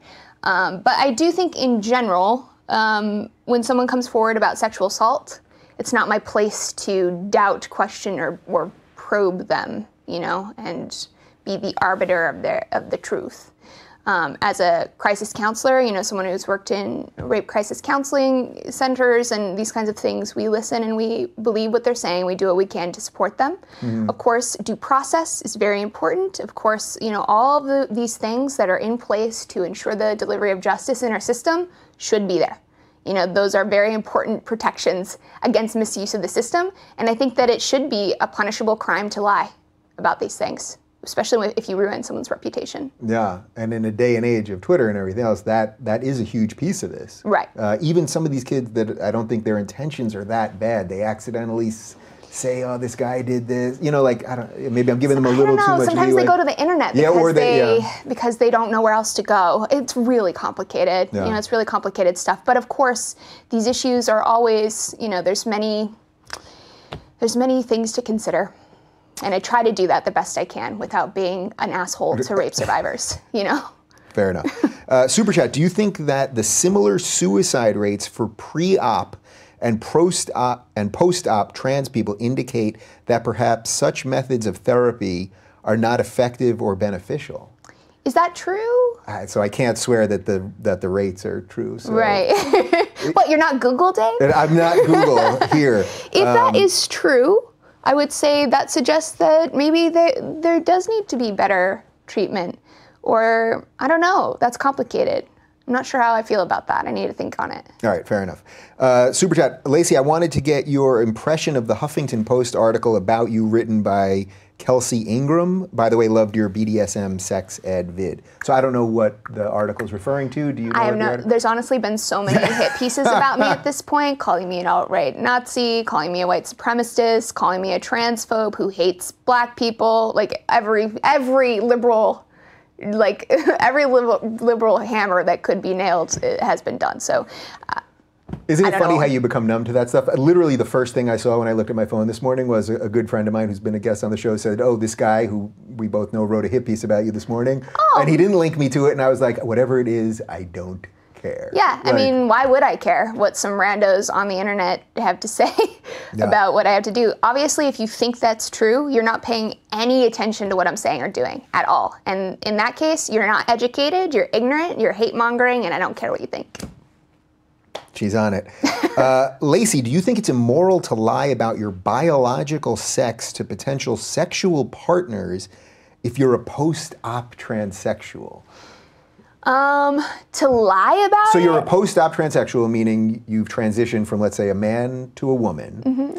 and now you're the the man. Let's say it's a heterosexual relationship. The man now thinks that you were always. I'm bad. My language is not good. You were okay. always a woman, or mm. what would be the better way to say that? Right. The man sees you as another man, maybe? Yeah. Oh, wait, post op? Yeah. They said post op? Post-op. So are we talking about like genital reconstruction? Well, I, I guess the, the thrust of it was that so if you meet, things. if you if you have fully transitioned and you meet someone, I guess the question really is, do you have to tell them? Right. If, if you, by all other measures, just a present sexual- as a right. woman or Yeah. whatever. I, I don't think the question is, do you have to tell them? It's just like, what does good communication about our sexual histories look Mm-hmm. like and about who we are? You know? I don't think there's there should necessarily be like a law like you need to tell me, you know? Yeah. Because like why? I don't I don't know that I see the real harm that that causes besides someone having like I don't know being uncomfortable with it, I guess. Right. But we should not we should tell things before you have sex with someone, you should tell them the things that may potentially make them uncomfortable. That's sort of my policy. Fair and that's all people should be talking about stuff. If you have had any STIs before or you know, maybe you're into something that's a little weird. Don't just spring it on me. Like, tell me first. All those Right. things should be talked about first. And I think that if we create a world where it's more acceptable for trans people, it's more acceptable for them to move through the world and be seen as legitimate, valid human beings, it'll be easier to talk about because you're not scared of someone having violently attacking you because you they are transphobic. And that's what transphobia is, right? Right. Is the violent attacks um, because you feel like you have been threatened by their existence. Yeah. Did you watch uh, Transparent by any chance? Yes. So I just watched it over the last couple months. I'm not caught up on it, by the way. Oh, okay. Then, I, ah, then I don't want to say anything else. Um, but I think there's so much that when you, by the time you get to the end, you're gonna be like, "Holy cow!" It's so related to your story in a way Really? because there's so much. Because they do turn. They don't. It's not a SJW fest, which you. When I know, when I've I started watching it, I was like, "Oh, I'm gonna end up hating this because they're gonna be pushing all this stuff and all the language stuff."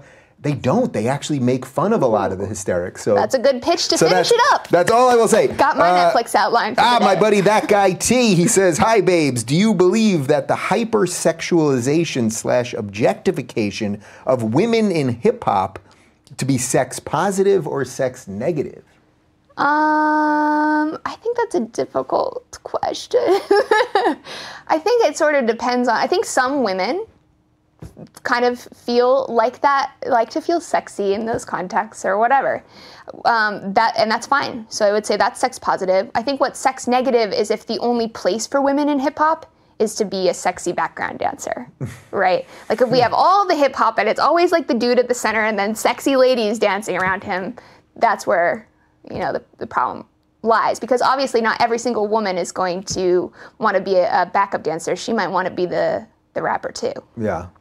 Have you changed your stance on the wage gap given the overwhelming evidence pointing towards perfectly reasonable and non-sexist, non-sexist systemic or otherwise factors? yes That's a great place for you to talk to Christina Hoff Sommers. Yeah. Who, who really opened my eyes to that stuff. She does probably the best work that I've seen on that. yeah i've i've done more digging into the i still think I, I the research still shows a wage gap but it does show that there is a much more complicated picture than the sort of 77 cents to a dollar line Okay. Uh, this is super chat. This one, this one seems to be going deep. From a biological perspective, how do intersex conditions invalidate the sex binary classifications any more than trisomy 21 invalidates Homo sapien classification? A disorder doesn't do that. I have to be 100% honest. I'm not sure what I know what they're, they're talking Can, about. can you clean that up for me? Yeah, so I think they're asking. They're saying intersex is not a third sex. You know, you have the you have sex. It's these two poles. You have male and female, and intersex doesn't say that there's not a sex binary any more than um, I think tris- is it Down syndrome?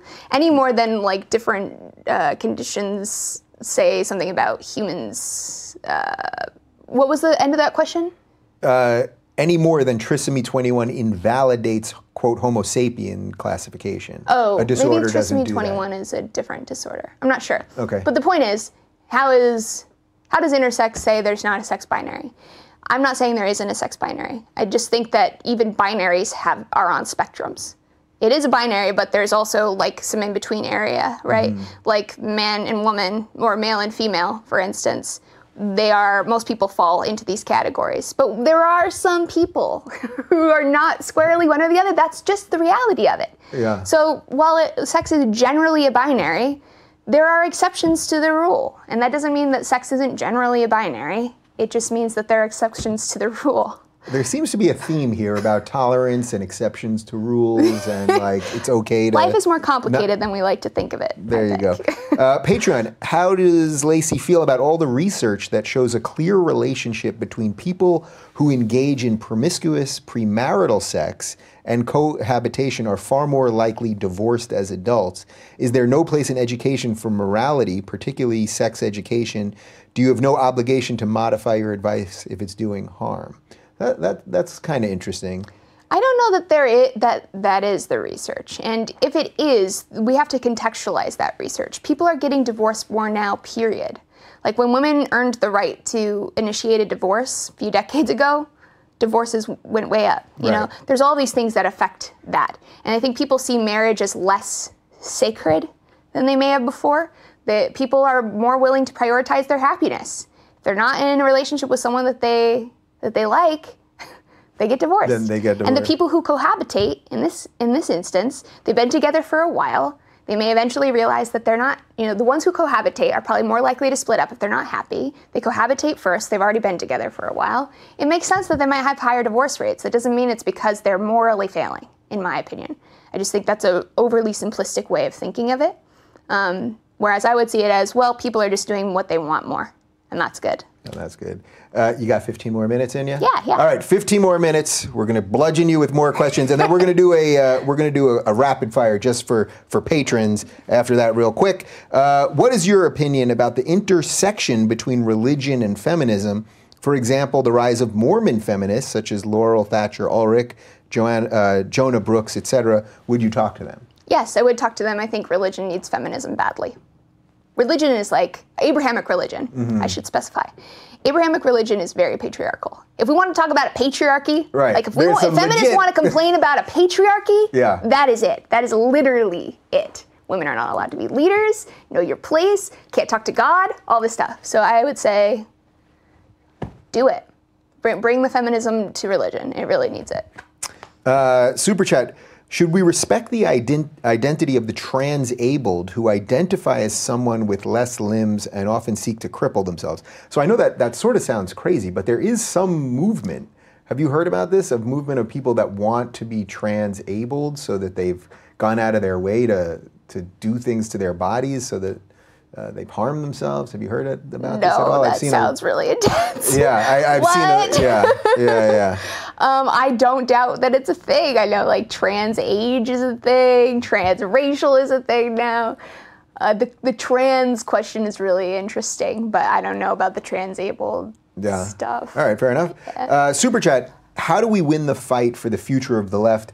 Will you support Bernie Sanders in rejecting identity politics? It's interesting because I, I think he really traded in them. Then after the election, suddenly said we need to stop doing that. Yeah. But that aside, what do you think about fixing the left? Do you, do you think now that you've so seen what's going on, do you think that's a reclamation project that's real? Does something new need to jump out of it? Um, the identity politics stuff? Well, the, the left in general. Do- Yeah. Do, you think it's something that can be fixed, all these things that we seem wrong with it? Or does something new have to come? Or do people have to move more to the center? Or I don't know. I feel very lost in it. I don't really know what can make liberalism liberal again. Um, fuck. yeah. Let me know if you have answers, because I sure as hell don't. Laci, what are your thoughts on Antifa slash Black Bloc and their behaviors after the inauguration and during events at universities in SoCal? So these guys who dress like Cobra soldiers and they're Yeah, burning shit and somehow they're the not fascists? Yeah, I'm not a fan of Antifa. it's not my it's not my bag. I That ain't- think that anybody who uses violence is, you know, a problem. Especially when it's violence because of, of just things that people think or say. Yeah. Like it's literally it's not violence that you're not retaliating to. Antifa isn't retaliating to what Milo Yiannopoulos did. They're rea- retaliating to what he said. Yeah, and they're also retaliating by burning a third party thing. You know Yeah, I mean? like, like- burning down Starbucks isn't hurting Milo. You're, actually, giving- you're actually helping Milo in Yeah, certain regard. and also giving my alma mater a bad name, Berkeley. It's the center of the free speech movement. Like it has such a legacy and a history, and they've thrown the students under the bus. I would say. Wh- what years were you at Berkeley? Uh, I graduated in 2011. Did you see the underpinnings of what's going on there now? Berkeley has always had a strong history of protest. You know, it's very much a part of student life. If you have a problem or you want to talk about politics, we protest. And Yeah. it's beautiful. It's like, you know, you get together on the weekend and you protest, whatever, you know. But the, the problem, I think, now is that people are using Berkeley as a sort of site of their own political, like outside people are coming to Berkeley and are using it as a, uh, I don't know, they're, they're using it to their advantage. When the students, students don't support that shit. They, they don't want their university yeah. torn up any more than anyone else does, you know? Nobody wants to be blocked off of the whole quad because some assholes, you know, th- through, like, caused a lot of graffiti and damage. Yeah. I, I was, people have done that, people did that when I was there, the Antifa pe- people who live in Oakland, the city over. They come over to Berkeley, they do the shit, and it always pissed the students off. Nobody ever liked that stuff. We're peaceful protesters at Berkeley. Why didn't the university crack down more in general? On the, on Antifa? Uh, yeah, or- when they come onto campus, I mean, there's campus security. Like, why do they allow them there? I, I don't know, you know, or even the police. I sometimes you see these people burning things, cops standing right in front of them, and it's like, why aren't you guys doing something? I don't. Is that true? Because I feel like the cops in Berkeley are pretty proactive, um, but they also are very like lenient. They let people do like they. Fine line between proactive and lenient, you know. I mean, look at it this way: like they see sometimes they'd see burning a flag or bur- starting fires as free speech. Like that is the Berkeley free speech. Like it, it is very, very lenient, and people see that as oh, the cops aren't doing anything, the university isn't doing anything. It's like, well, no, we just think they have a right to. When it starts to hurt people, that's where shit goes down. Fair enough. Um, do you think that? Oh, this is good. Do you think you'll make amends with any other YouTubers the way you did with Sargon? Um, I'm trying to think of who. Yeah, I'm sure. I'm sure there are a few people that I'd still like to make amends with. All right, I like that. Um, is, oh, there's been a few questions that sort of have basically said something to the effect of, "Is there anyone that you wouldn't talk to?" No, I'll talk to anyone. and see what happens. I like it. All right. um, one of the most insulting things to say to another guy is calling them gay. Most men also refuse to watch gay porn. Does that mean that there's an unconscious rejection to homosexuality that won't change? That's interesting because those, those are two very different things. Yeah, because I feel like um, the first part of that question is talking about some some homophobia, right? Like, Right. uh, gay stuff is bad. Don't do gay shit, right? Yeah. And then the other side of it, what was the second part of the question? Well, about watching porn, most men also refuse to watch gay porn. Right, and that's like, is does everyone have homosexuality deep down within them? And it's like, no. Right. like these are some people are gay, some people are straight. That's why the the like transphobia in the bedroom stuff is so silly because it's like you're gay or you're straight or whatever, and like there is a little fluidity there, and people sort of discover themselves as they age and have new experiences. But yeah, I mean, I don't think that's like a deep seated truth about homosexuality so much as it is a deep seated truth about sexuality. Period. Yeah. Have you ever done anything on sort of the way the gay community has changed? Because I've seen a huge shift in in the gay community just in in the last. You know, I came out. I came out late in like my mid to late 20s. Uh-huh. I'm 41 now, and when the gay community, when I first was sort of going to gay bars and things, like it was all about this like over the top political incorrectness, like craziness. All the drag queens, all that stuff. I never liked any of it. I always thought uh, because I, 'cause I thought drag queens were basically bad comedians, and I was doing stand up. So like I never was into that. but like the political incorrectness and saying crazy shit and That was doing crazy shit, it was encouraged, and now it's very much kind of fall in lockstep, believe what we believe politically. That's so crazy. Um, there How was a- interesting. there was a horrific article written in uh, about six months ago, written in either the Advocate or one of those things about how Peter Thiel is not really gay because he doesn't fall into our Oh political beliefs. That it's a that it's so, somehow a political ideology and not you know. How do these people not see their own hypocrisy? Yeah. You got your gay card revoked for being conservative. That's crazy. Isn't that isn't that something? But that's real. I mean, that's Yeah. that's really real. I mean, I've been talking to some older trans people who are like in their 40s and 50s, and it's really interesting because you know the the trans movement has evolved uh, in a similar way. It sounds like to the gay. I mean, they're kind of side by side, Mm-hmm. um, where you know people have. Their feeling is people's feelings are hurt way too easily. It's too politically correct now. It used to be about fucking the system. Now you become the system. This Yeah. whole thing. Which is interesting, you know, and we always look back and romanticize things. So those people in their 40s and 50s probably had to live through some pretty horrible shit, I'm sure. Yeah, yeah. But They're even, like, life is good now. What are you complaining about? Isn't that something? It tells you about why the arc of justice. Oh, this is a good one because I get some shit on my stance for it, uh, and I have no idea what your thoughts are. Do you think a bakery should be forced to bake a gay wedding cake for a same-sex wedding, even if they believe it is against their religious beliefs? So I don't know how I feel about it exactly, but my initial, you know, I've thought about it a lot. My initial thing is, why would you want to give money to people who are are like don't recognize your union, you know, who are assholes? Now, you know, just go to a different bakery. But like we live in LA. Like there's nine million bakeries, right? Mm-hmm. So you have a lot of choices. So you can vote in, with your dollars in a sense. Where I get a little bit more confused or conflicted is maybe there's only one bakery in your whole town that makes wedding cakes. And now because you're gay, you can't have a wedding cake. You know? Yeah, So- well, I understand that line of thinking. I, Yeah. I, I don't agree with it uh, because I know it sucks. I've said this a thousand times. I know it sucks. Yeah. But either go to the town over or Mm. order a cake on Amazon or leave that town. These are all hard choices. I don't say these things with any degree of, like, course, this of is the way course. it No, should think- be or any of that. But I think ex- forcing a private company to do something, Mm-hmm. just uh, which then extends the state power over a private business, I just Right. I, I just personally wouldn't want that. I know it sucks. It's not fun. Yeah. I, people give me shit for it, but I just don't think we live in a different time. Uh, this isn't 1940 where you know that may have been the only baker within 50 miles. And even if you live in a remote place, Amazon does deliver everywhere. And just more excuses for state power. Uh, This is somewhere That's where I, def- point. I definitely veer a little more libertarian on that. But I understand the good intentions, by the way, of the, the people that don't agree with me on that. Yeah, yeah, yeah. No, that's a fair point. I'll have So- to think about that. All right, we'll uh, we'll do this again, and you can give me a fully thought out answer.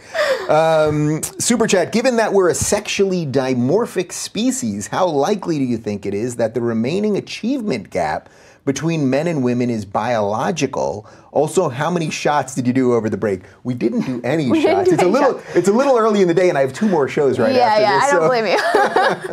and I, I don't have I don't time. have very good experiences being too loose-lipped with the internet. so, um, You know, we'll do shots another time over dinner or something. Yeah, we should. on camera. we should when you don't have a super busy day. Yeah. That'd be great. Um, sorry, what was the? So the question was, given that oh, we're, right, we're a sexually dimorphic uh, species, how likely do you think that the remaining achievement gap between men and women is actually biological? And I know this can be pretty controversial to some yeah, people. I, I am of the the reason why I'm a feminist is I am of the opinion that you know while men and women do have differences, males and females, I should say, do have biological differences that can that lend themselves to slightly different behavior, with testosterone uh, being slightly more aggressive, and you know te- uh, the bond, the oxytocin and the bonding with the baby being the more nurturing hormones, things like that. I do think that there are a lot of things that are being a lot of inequalities for men and women that are being caused by our social environment. So I don't think we're there yet. And uh, the reason I believe that is because when you look at under other countries, it's different, which to me says this isn't just like because biology is across the world. Right. So if we can observe a difference in a- in a different culture, that means it's not biological. That means that it is caused by the culture and the environment. Yeah. All right, one more. One more. Here Let's we go. One more, and I think this sort of will encapsulate a lot of the things we've been talking about. This is from Patreon. Why has third wave feminism turned into this devastating tsunami of unreason?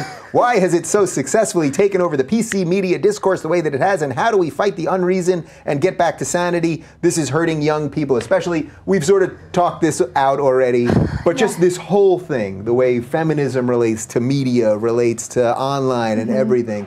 Uh, just give me your best antidote Like for that. the the best way to fix it. The best way that, well, just for you personally, what is Yeah. your best way of fighting it for someone else that's seeing that right I think now? feminism, feminists and leftists need to reclaim their causes and need, to stand up to people who are trying to bastardize and distort what we're actually fighting for, who are using shame, censorship, anti-science, manipulation, bullying, all this kind of bullshit to push a political, a radical political agenda. I think people who are not down with those kinds of politics need to step up and say something about it. Even though it's scary, you might lose friends. You might, you know, have to make sure you're in a place to deal with it. Just like my own story, make sure you can deal with it, but do it because look what's happening. yeah. It's this is not going to help liberalism. This is not going to help feminists. I don't care what they say. I do not see this helping anyone. All I see is alienation, people getting angry and hostile to things they actually do support. All of the antis, every anti feminist that I've talked to so far, agrees with me on this basic shit about social issues. They agree on the, you know the trans stuff. They agree with me on gay rights. They agree with me, and that's not to say everyone will, mm-hmm. but a lot of people. This is just to say a lot of these outspoken figureheads are turning against this bullshit, and in the process, the the real base causes what we're fighting for is being lost, and that's why I felt like I had to say something. Ultimately, is because holy shit, all of these people who were all in this together are now fighting over things because of these crazies. We got to distance ourselves from that. It, it's gotten too out of control for a lot of reasons, but I would my advice is to say something, be polite, be res- respectful, be willing to question that you could be wrong, be willing to check your privilege, all right? but at the end of the day, you know, stand up for what is good and right and what will make the, actually make this world a better place.